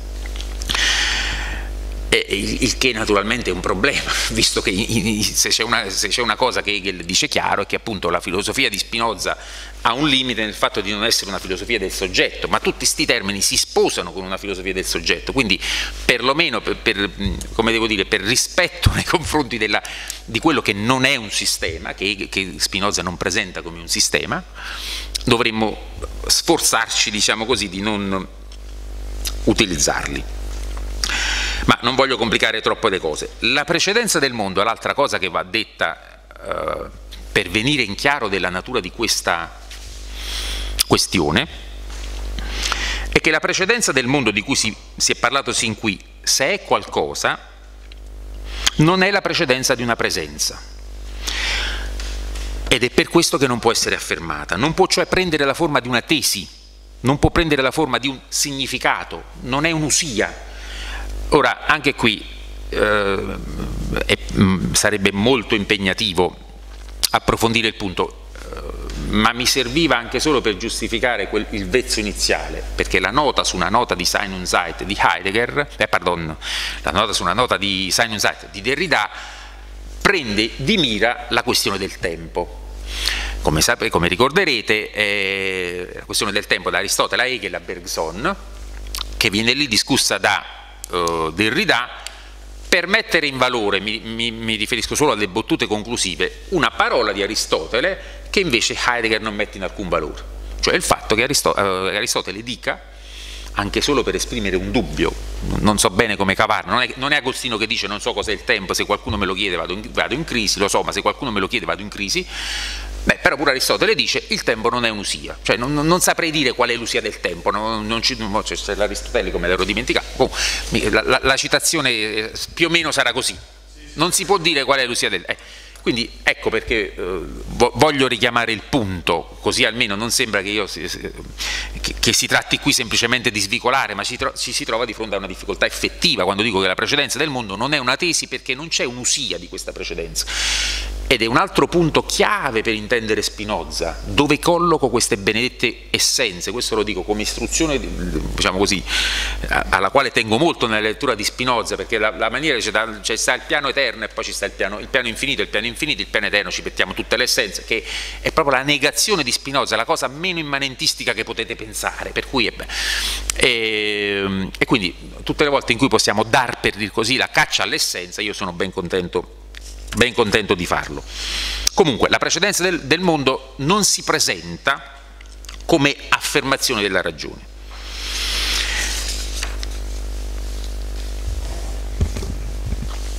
Ehm, ma poi aggiungo ancora, qui solo la formula è, è kantiana ma perché rimane un vizio di gioventù, ehm, che probabilmente va sollevata una questio iuris, ecco il, il, il, vizio di gioventù, e credo che le, qualcun, alcune delle cose che ha detto mh, Antonio prima abbiano senso a questo riguardo. Una questio iuris, io direi così, riguardo al concetto di totalità. Cioè, secondo me la facciamo un po' troppo facile quando diciamo tutto, totalità. Che cosa intendiamo tutte le volte in cui diciamo tutto, totalità? Non sempre è chiaro eh, ovviamente questa cosa mi interessa nella misura in cui, come, ehm, come provo a dire, la ragione che non può avere il mondo come posizione di una tesi non trova in ciò un limite e non è per questo una ragione finita, ma semmai è finitizzato il mondo che si presenta in una tesi. Questo passaggio mi è indispensabile perché io sto cercando di utilizzare la dimostrazione dell'esistenza della sostanza come precedenza del mondo, come assoluta presupposizione del mondo, entro una filosofia che rinuncia, lo dico in maniera un po' polemica, alla retorica della finitezza. Allora io devo qui dirvi, guardate, quando dico che questa non è un'affermazione della ragione, non sto indicando un limite della ragione, sto facendo l'operazione esattamente contraria perché il mondo si presenta come oggetto di una tesi solamente per una ragione finitizzata.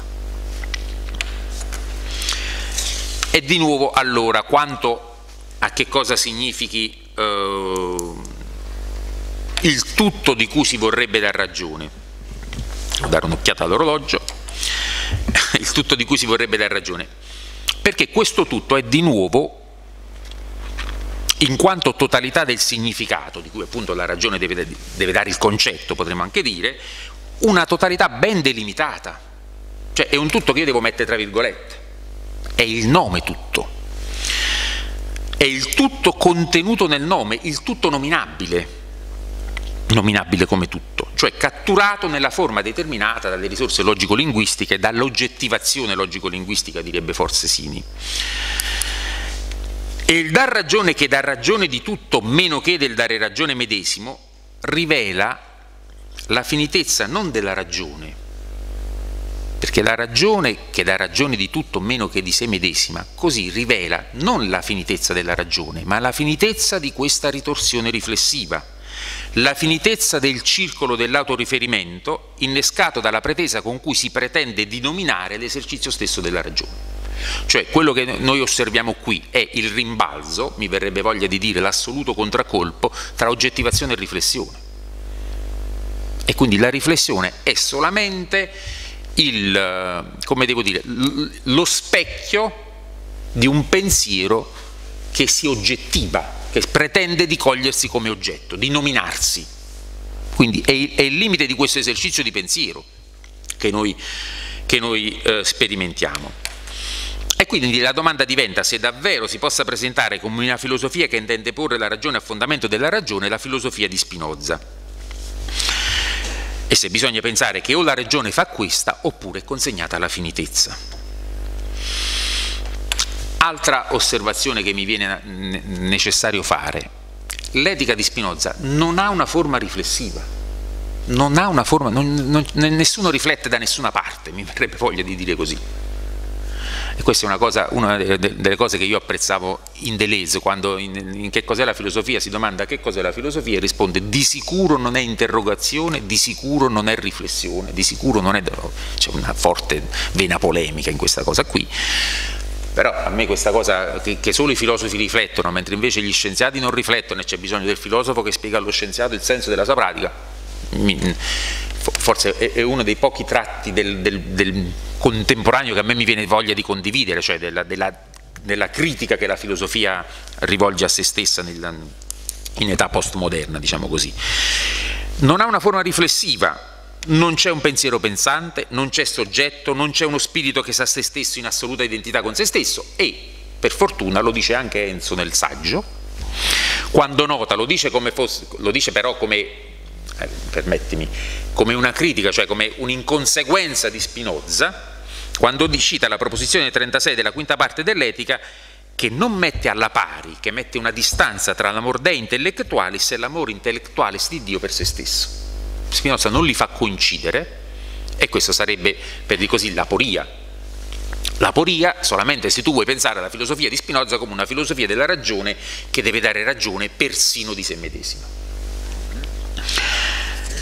Ehm, ma allora, fatte tutte queste, eh,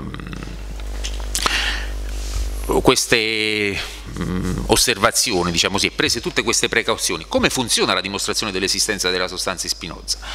Non ho il tempo e quindi mh, non posso far vedere mi permetterei di dire, secondo me era lontanissimo dal carattere di Spinoza un qualunque filo di ironia, però io riesco a vedercela persino nell'etica di Spinoza, quando lui tira fuori una dimostrazione, poi dopo aver dato la dimostrazione dice però se siete un minimo intelligenti sta cosa la capite senza dimostrazione, cioè vanificando il senso stesso della dimostrazione. Per giunta, anche, basta questa osservazione, se voi vi andate a vedere la dimostrazione, non usa che arriva subito, quasi subito, arriva nella settima proposizione, alla sostanza appartiene di esistere nella settima proposizione, nell'undicesima poi è Dio, quindi arriva praticamente subito, però nella settima proposizione che cosa si cita? come procede Spinoza deve sempre dire grazie alla tale proposizione e alla tal altra proposizione posso concludere che e che cita Spinoza nella settima proposizione? gli assiomi e le definizioni cioè non le proposizioni. E che razza di dimostrazione è cioè, i, giudicata in termini, come devo dire, lo, cioè, presa con, come la si prende, come la prendono i logici, quelli che scrivono gli elementi di logica, i libri, è, è, è, parecchio deludente come dimostrazione, cioè su un piano strettamente logico-riflessivo, è parecchio deludente. Ora io però non ve la voglio riproporre nella maniera in cui secondo me la si può riproporre guardando soprattutto allo scolio eh, che non alla, alla, proposizione stessa e al suo scheletro formale, ehm, ma faccio solamente un'osservazione che di solito non viene proposta e collegata alla, alla dimostrazione. Che cos'è un'idea per Spinoza? perché se una dimostrazione, se tu me la presenti come una dimostrazione che dall'idea, dalla definizione, conclude all'esistenza, una, una, variante dell'argomento logico, qualcosa del genere, allora devo chiederti cos'è dunque un'idea per Spinoza? Perché un'idea non è quello che noi pensiamo che sia, ordinariamente. L'idea in Spinoza è immediatamente, ed è fondamentale per questo immediatamente, posizione di esistenza. Cioè, se io eh, faccio l'esempio che usa, che usa mm, non Giacomo, ma Spinoza, se io vedo Giacomo, se ho l'idea di Giacomo, ho l'idea di Giacomo come esistente, ma siccome succede che vedo pure Pietro, vedo Antonio, vedo Enzo, dove ho visto Giacomo, allora quella che era un'immediata posizione di esistenza retrocede eh, nelle retrovie dell'immaginazione, potremmo dire così. Perché altra esistenza, come devo dire, si, eh, mi assale. Oppure, in termini più corretti storiograficamente, ma l'esempio di Spinoza, questo di Giacomo e Pietro, l'idea non è una pittura muta, questo lo dice in polemica con Spinoza, con, con Cartesio. Le idee di Cartesio sono pitture mute di cui tu poi ti devi chiedere se c'è corrispondenza con l'esterno oppure no. La questione della corrispondenza o della convenienza con l'ideato in Spinoza è del tutto estrinseca è del tutto estrinseca, il che vuol dire che l'idea non sta prima in una qualche sede logica, in una qualche sede logico-psicologica, che è la stessa cosa, lo dico en passant, ma non è è un'enormità quella che ho detto, non la potrei dire en passant, ehm, ma l'idea è immediatamente posizione di esistenza salvo che non venga sospinta nell'assenza, quindi la pittura muta di cui parla Cartesio è, è, è derivata, è, è, immediata. È chiaro che da quella lì non tirerai fu mai fuori l'esistenza di Dio né di null'altro, potremmo dire così. Ehm, e così siamo condotti al vero problema, in conclusione, che cosa significa pensare lens absolute infinitum, cioè la, la, la sostanza, come vedete qui absolute è avverbio, lente è definito infinito, cioè il nome della, della sostanza di Spinoza è infinito, non è né assoluto né totalità né altro.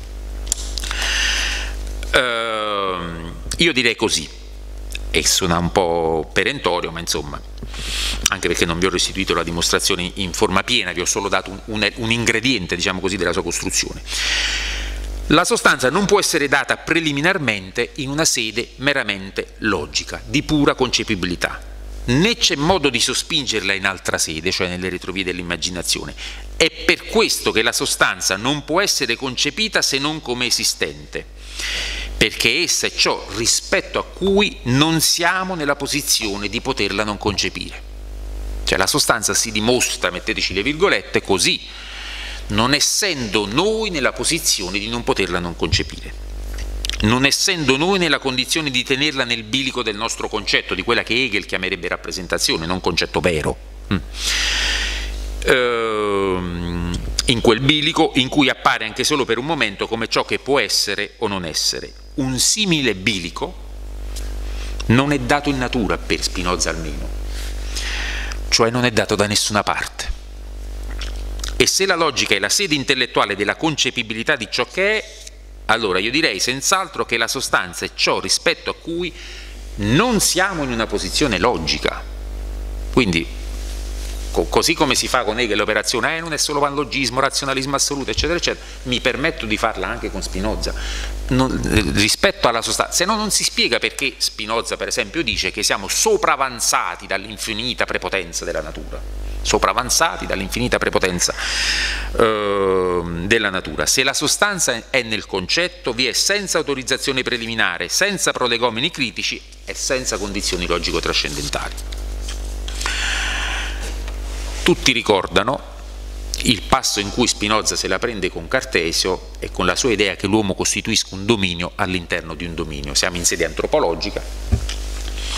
Eh, si tratta di questo di revocare l'invenzione di un simile dominio non solo psicologico ma anche logico. In chiave genealogica si tratta di revocare l'operazione che esegue Platone nel sofista, che dovendo ammazzare Parmenide, compiere il parricidio, si deve inventare quella sede psicologica, la psiche, in cui trovano posto i significati che sono e non sono.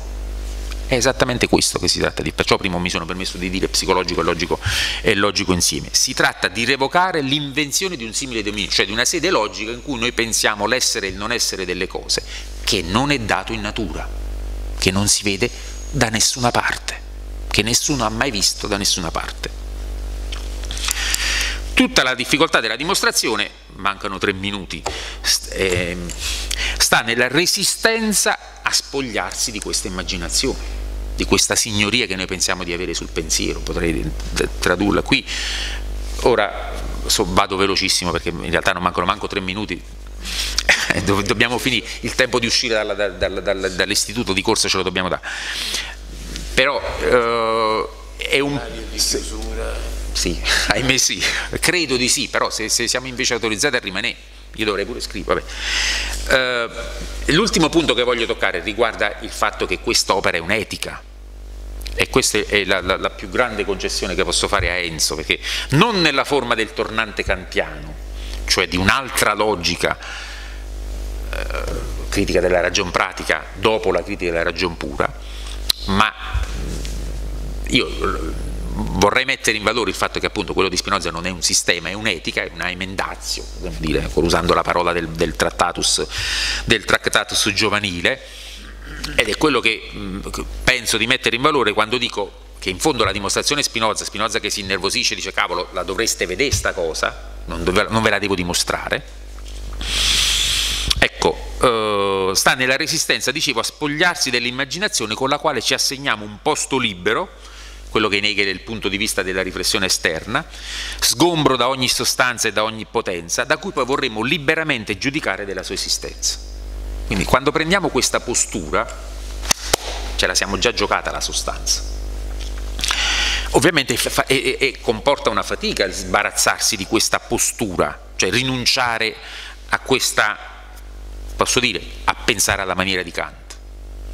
E io sto dando enfasi a questi termini, resistenza, rinuncia, perché appunto portano il discorso su un piano che ora accenno solo, di un'etica, perché si tratta appunto di una resistenza da vincere, di una rinuncia da compiere, ehm, e così via. E proprio perciò non meraviglierà, e concludo, ehm, che, che l'inciampo che ora sto denunciando è perfettamente indicato da Enzo nel saggio che ho citato, perché per Enzo fa ancora inciampo, così mi, mi faccio da solo la tua obiezione se posso, se questa coscienza di essere sopravanzati dall'infinita prepotenza della natura, se questa coscienza di essere sopravanzati non sia essa almeno per nulla sopravanzata. Questo significherebbe, ah cavolo, ho, ho di nuovo pareggiato, ho di nuovo pareggiato l'essere e il pensiero. Se posso dire che questa coscienza di essere sopravanzati, questa almeno non è sopravanzata, quindi hai voglia a dire che è la precedenza del mondo, eccetera, eccetera. Sei di nuovo di fronte al problema che o questa coscienza non è sopravanzata e allora ha Dio precedenza del mondo, oppure è sopravanzata e allora ha Dio questa coscienza. E ora questa contraddizione sembra proprio che non possa essere elusa. Ma che cos'è questa? Da dove viene questa obiezione? Che cosa la innesca? E che cosa dimostra se non ancora l'esercizio in atto, diciamo così, della riflessione? Io credo proprio che non la si possa evitare, che non si può evitare che non, non posso evitarla questa obiezione di Enzo, posso dire così, però qui sono molto cattivo e perfido perché faccio esattamente quello che lui faceva quando se la prende, discuteva con Severino, gli do ragione, salvo mettere tra parentesi quella ragione. E quindi io devo dare assolutamente ragione a Enzo Vitiero, la, la, farei più complicata di così ma sto davvero uh, con, concludendo, che sia sempre possibile una simile ripresa riflessiva, che sia sempre possibile fare del mondo un'idea, per dirla in termini spinoziani, un'idea, un'immaginazione, che sia sempre possibile un simile imbozzolamento nel proprio dominio per non ritrovarsi esposti alla, alla prepotenza del mondo, è per l'appunto la resistenza di cui si tratta. E come Spinoza sapeva che il falso non tramonta al sorgere della presenza veri, così anch'io penso che non più di questo si possa e si debba chiedere al vero, di esserci, di esserci solamente, esse tantum, dice Spinoza, no? Soltanto esserci in muta presenza. E quindi l'obiezione te la lascio volentieri. Grazie.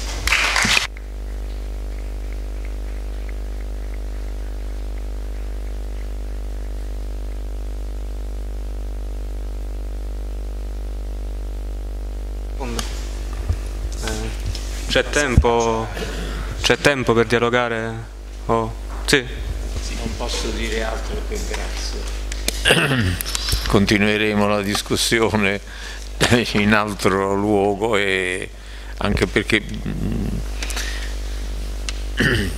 devono entrare altri autori nella, così è troppo facile diciamo no no no troppo facile non troppo facile troppo facile per noi. Insomma se vogliamo litigare dobbiamo litigare su cose che ancora più come dire più pungenti insomma ecco più difficili a prendersi.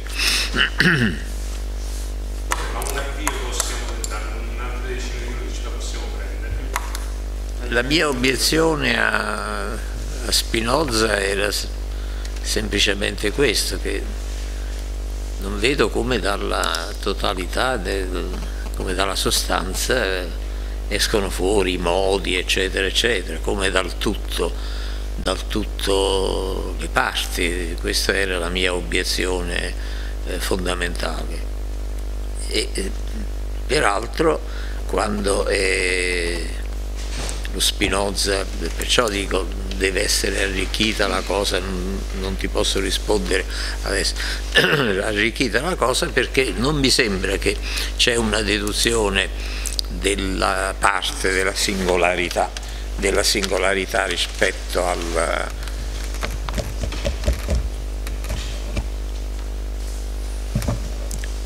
rispetto al tutto, come dal tutto le parti, eccetera, eccetera. Vi è però quando parla dell'etica. E allora questo sarebbe, però eh, dovrei, come dire, eh, articolare il discorso eccetera e adesso non sono in condizione di farlo, dovrei prendere un filo eh, diverso insomma. Quando si pone il problema etico, e per me questo era importante in, in quel luogo, eh, vedere come invece quando si parla di una posizione di dovere, eccetera, eccetera, beh, lì entra la finitudine, entra l'esplicazione della finitudine. E dalla tota-, insomma, perché dalla totalità il particolare? Vogliamo, vogliamo chiedere tutto. Perché? Perché la ricchezza del tutto ha bisogno della parte la parte divisa, insomma, attenzione, eh, perché la parte stessa nel tutto si rivela essa stessa il tutto. Nella eh, totalità del mondo eh, anche una, come dire, un, la punta di uno spillo è totale. Totale perché come si fa? Come si fa a dire che quello è... Bah, faccio l'esempio più, quello che richiamo sempre che è più facile. Come si fa a dire... Dunque, chiedo scusa, non avevo capito la... Eh.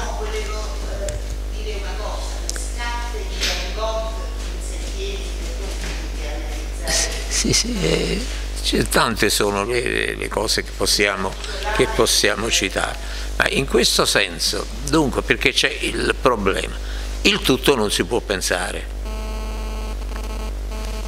perché omnis determinatio est eccetera eccetera, quindi non si può pensare, benissimo, si può pensare il finito, mm.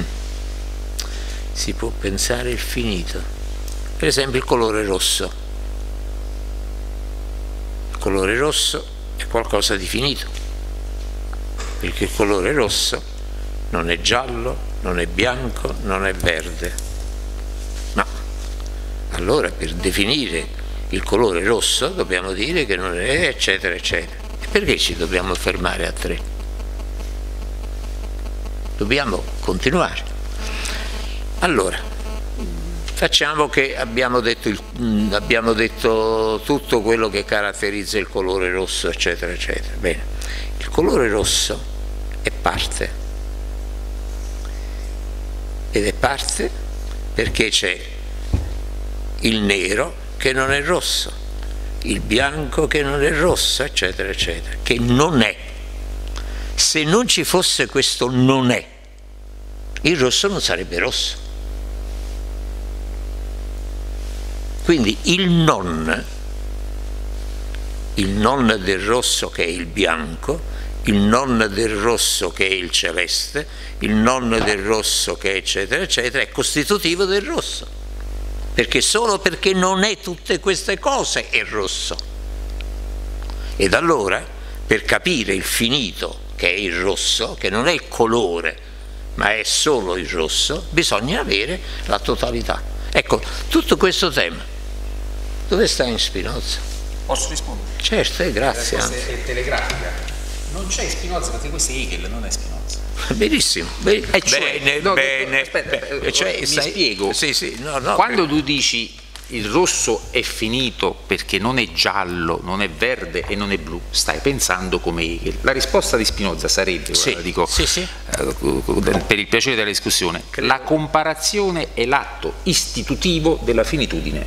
Quindi il rosso non è affatto non giallo, questa è tua esigenza di come devo dire, di restituire in idea il rosso, di spiegarti perché il rosso, e siccome hai bisogno di spiegarti perché il rosso, devi dirti, ma perché non è giallo, ma il rosso, quanto a lui, se ne può fregare di meno del giallo, non è affatto non giallo, l'idea che il rosso sia equivalente a non non rosso, questa idea, ahimè, va revocata in dubbio perlomeno, e credo che questa sia, come devo dire, nelle prerogative del filosofo, l'idea che A sia uguale a non non a parte che non è vero manco in Hegel, perché Hegel anzi questa Sì, sì, identità eh, va dialettizzata, no? quindi è solo un momento dell'identità. Ma nel caso di Spinoza, poi può darsi pure che questa pretesa sia... Non a caso il terzo genere di conoscenza in cui si dà la verità del rosso intuisce il singolare. E le, le parole non sono scelte a caso. Per, per Spinoza la scienza del singolare è una scienza intuitiva. Intuitiva non vuol dire che ha l'illuminazione, vuol dire che coglie il singolare non nell'atto di comparazione con l'altro. E, naturalmente se, io la se tu, tu senti la necessità di, di questa comparazione perché pensi il singolare come parte, perché pensi la dialettica parte tutto, e quindi la parte rinvia necessariamente a tu, ma il singolare non è parte. Il singolare non è parte. Il rosso è rosso, punto. Naturalmente per vedere il rosso come rosso, punto, mi viene, mi viene facile fornire esempi, come ti devo dire, come è naturale che sia, trattandosi di terzo genere di conoscenza, scienza intuitiva, e- e- eccetera, eccetera. Esempi- gli I primi esempi che farei li, pre- li pre- preleverei dal mondo dell'arte, Sì, naturalmente. sì, certo. Perché sto dicendo, vedilo come lo vede l'artista, il rosso, e allora capirai che cos'è il rosso. Perché finché lo vedi, appunto, con gli, eh, gli- strumenti dell'immaginazione, della credenza, del concetto nel senso della semplice rappresentazione, non vai da nessuna parte. No, no, no. Questa è almeno la pretesa. Io non dico che, vabbè, però è, la- è- è il punto con il quale confrontarsi se uno non vuole pensare Spinoza già come Hegel e risolvere, cioè e impostare i problemi di Spinoza. Alla stessa maniera tu non vedi dove la deduzione della parte dal tutto, ma almeno questo bisognerebbe concederlo a Spinoza. Un conto è che lui proponga una deduzione che non funziona, allora dice cavolo, hai preteso di come ci propone una dimostrazione che non funziona, arriva Kant e ti dimostra che il, il vecchio argomento ontologico non sta bene. Un conto è che tu non la dai proprio, cioè almeno questo a Canapa Spinoza bisognerebbe riconoscerlo, non è che c'è una deduzione mancante, ma manchevole. Non ci sta proprio, cioè non, c'è un- un- non c'è da nessuna parte Spinoza il quale dica e adesso ti deduco il finito dall'infinito. Ecco. Quindi evidentemente non sente l'esigenza di dedurre il finito dall'infinito. Allora se voglio entrare in dialogo con Spinoza mi devo domandare non come fa a dedurre il finito dall'infinito, ma perché Spinoza non sente l'esigenza di dedurre il finito dall'infinito? A questa domanda devo provare a rispondere, non alla domanda come deduco il finito dall'infinito, perché se no, se no Spinoza, eh, come dice, ci, man- ci mancava una pagina, diciamo così, è un'opera interrotta pure l'etica di Spinoza, ci manca la Non ho deduzione. capito. Eh, Allora, non bisogna chiedere come il finito dall'infinito. È vero? A Spinoza no, No, eh, proprio no. eh, di Spinoza stiamo Eh, parlando. ok. Eh, Dunque, No, perché a Hegel sì. No, no, no, no, no, Stiamo parlando di Spinoza. Allora, a Spinoza non possiamo chiedere come dall'infinito il finito. Possiamo chiedere, mi sembra di aver sentito questo, mi sembra, perché per Spinoza invece c'è la deduzione dell'infinito dal finito. No, ah no, Non c'è. Ah, non c'è. Allora in che rapporto stanno l'infinito e il finito? Non c'è stato il rapporto. In cioè, quando... che per semplicità io direi così, di identità, se mi fosse consentita una parola speculativamente più impegnativa direi di indifferenza, ma diciamo ah, di identità, lasciamo ah, di identità, vabbè, di identità, di identità, il rapporto di identità. Cioè, è chiaro che per Spinoza sì. la, il rosso è tutto, è tutto il colore, ho capito, e il bianco? Ma se, se, il rosso è tutto non c'è nessun bianco. Ah, ho capito. Allora in... Allora in cioè, non avevo capito, questo di Spinoza proprio non l'ho capito, che il chiodo è tutto il mondo, eh certo. che, il chiodo, che, il chiodo, è tutto il mondo e che quindi è se c'è il chiodo non ci sta il tavolo. Oh guardate un poco, però poi c'è vedo il tavolo. Ah, a, meno che, a meno che tu non abbia ancora compiuto la dico così, sì, sì, sì. con tono vagamente misticheggiante, sì. l'itinerarium mentis di Spinoza. Sì, sì, ho capito. Finché tu compari chiodo a tavolo, è chiaro sì, che tanto il chiodo quando è il tavolo e il chiodo è semplicemente una parte che sta nel mondo insieme a tutti vabbè, gli altri. Vabbè, vabbè, in se, se dunque, riesci, eh, vabbè, eh, eh, il passaggio non sarò mai spinoziano, perché non lo capisco. Questo è, questo è abbastanza sicuro. Dunque, vabbè. No, eh, noi... Possibile. Io, io... Lui deve dire che è possibile, io penso che sia impossibile.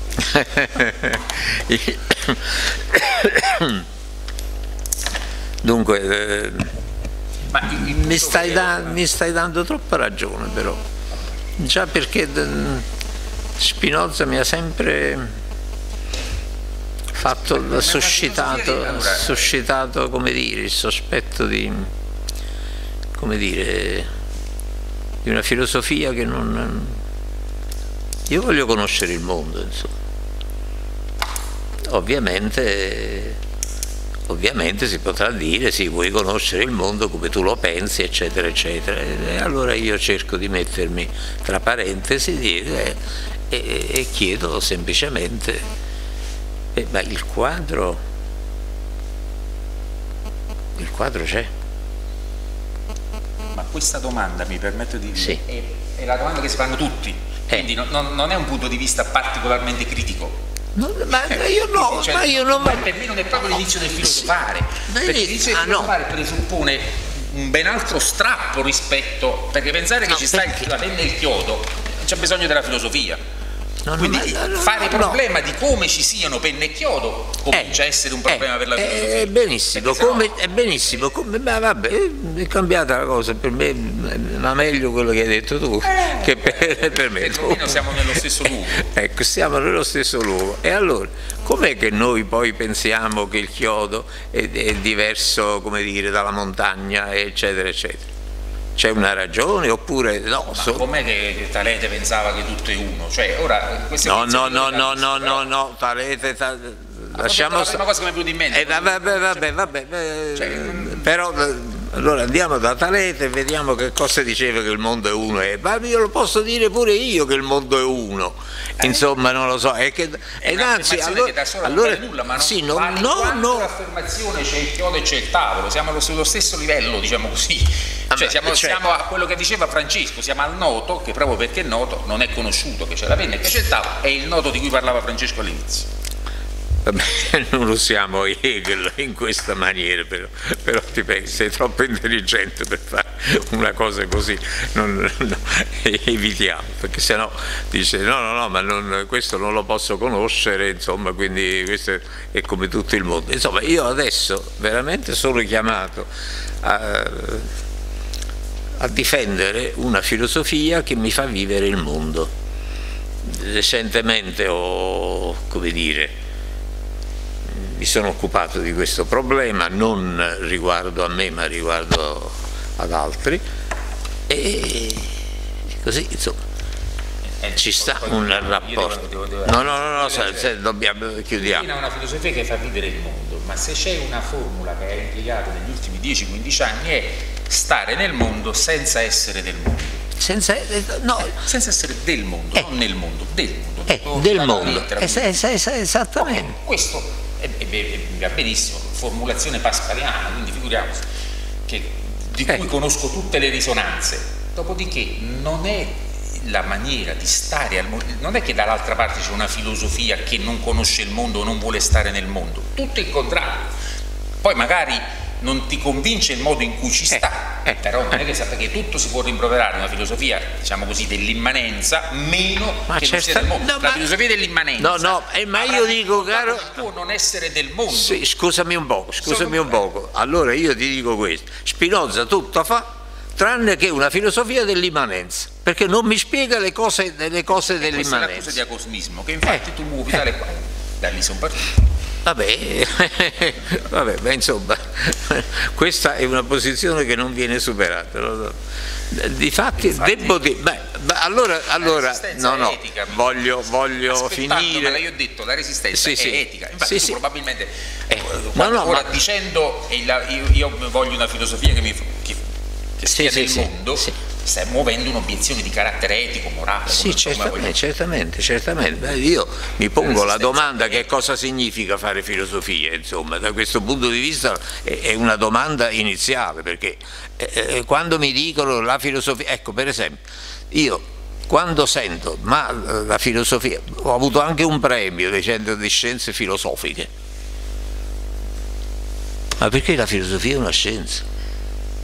Ma me lo dite voi. Non mi pare. Credo che sia un abito, un abito di vivere il mondo. Questo, questo l'ho pensato da sempre, insomma. Non credo che si possa dire scientificamente il mondo finisce, il mondo resta, eccetera, eccetera. Questo, non, ripeto, non, da questo punto di vista, vabbè, da questo punto di vista siamo... è tra le risposte più belle che siano state date alla domanda che cosa significa fare filosofia quella di Spinoza l'uomo libero a null'altro pensa meno che alla morte. Questa è la risposta di Spinoza alla tua domanda. Lo so, lo so. Se una filosofia so. mi mette in condizioni di fare questo, io ci metto la firma sotto. Diciamo. No, poi, io, poi, di nuovo può essere che sia invece una io, grandiosa rimozione della natura finita dell'uomo, questo non pensare alla morte. Però non è che non vi sia, diciamo così, che non sia avvertita l'esigenza per uno che scrive un'etica scrive un'etica eh, si sta ponendo precisamente la, la, domanda come sto al mondo se no non scriverebbe un'etica. Sì sì appunto appunto. Mi interessa la risposta, non la domanda. Che si pone la domanda eccetera, ma la risposta è quella che come sto nel mondo, ah, dico io faccio adesso una filosofia, dico io oh, come sono bello, oh, come sono ricco, oh, non ho pensieri, eh, vivo bene, eccetera, eccetera, e semmai mi stanno uccidendo fare cose peggiori, eccetera. Scusa, vabbè, ma questo qui siamo arrivati a, a come dire, a scherzare sulle nostre cose, insomma, e, e chi riesce a scherzare, insomma, qual era la dizione che aspetti siamo che della filosofia. Ecco eh, sempre Pascal siamo che della eh, c'est vraiment eh, filosofia. c'est vraiment filosofia. Sempre Pascal. E questo è un Gassiate Pascal ha finito con eh, Spinoza proprio. Eh. no no eh, certo certo certo. A proposito di Semoché mm. sì sì è, è un salto significativo. Vabbè vabbè ti ringrazio ti ringrazio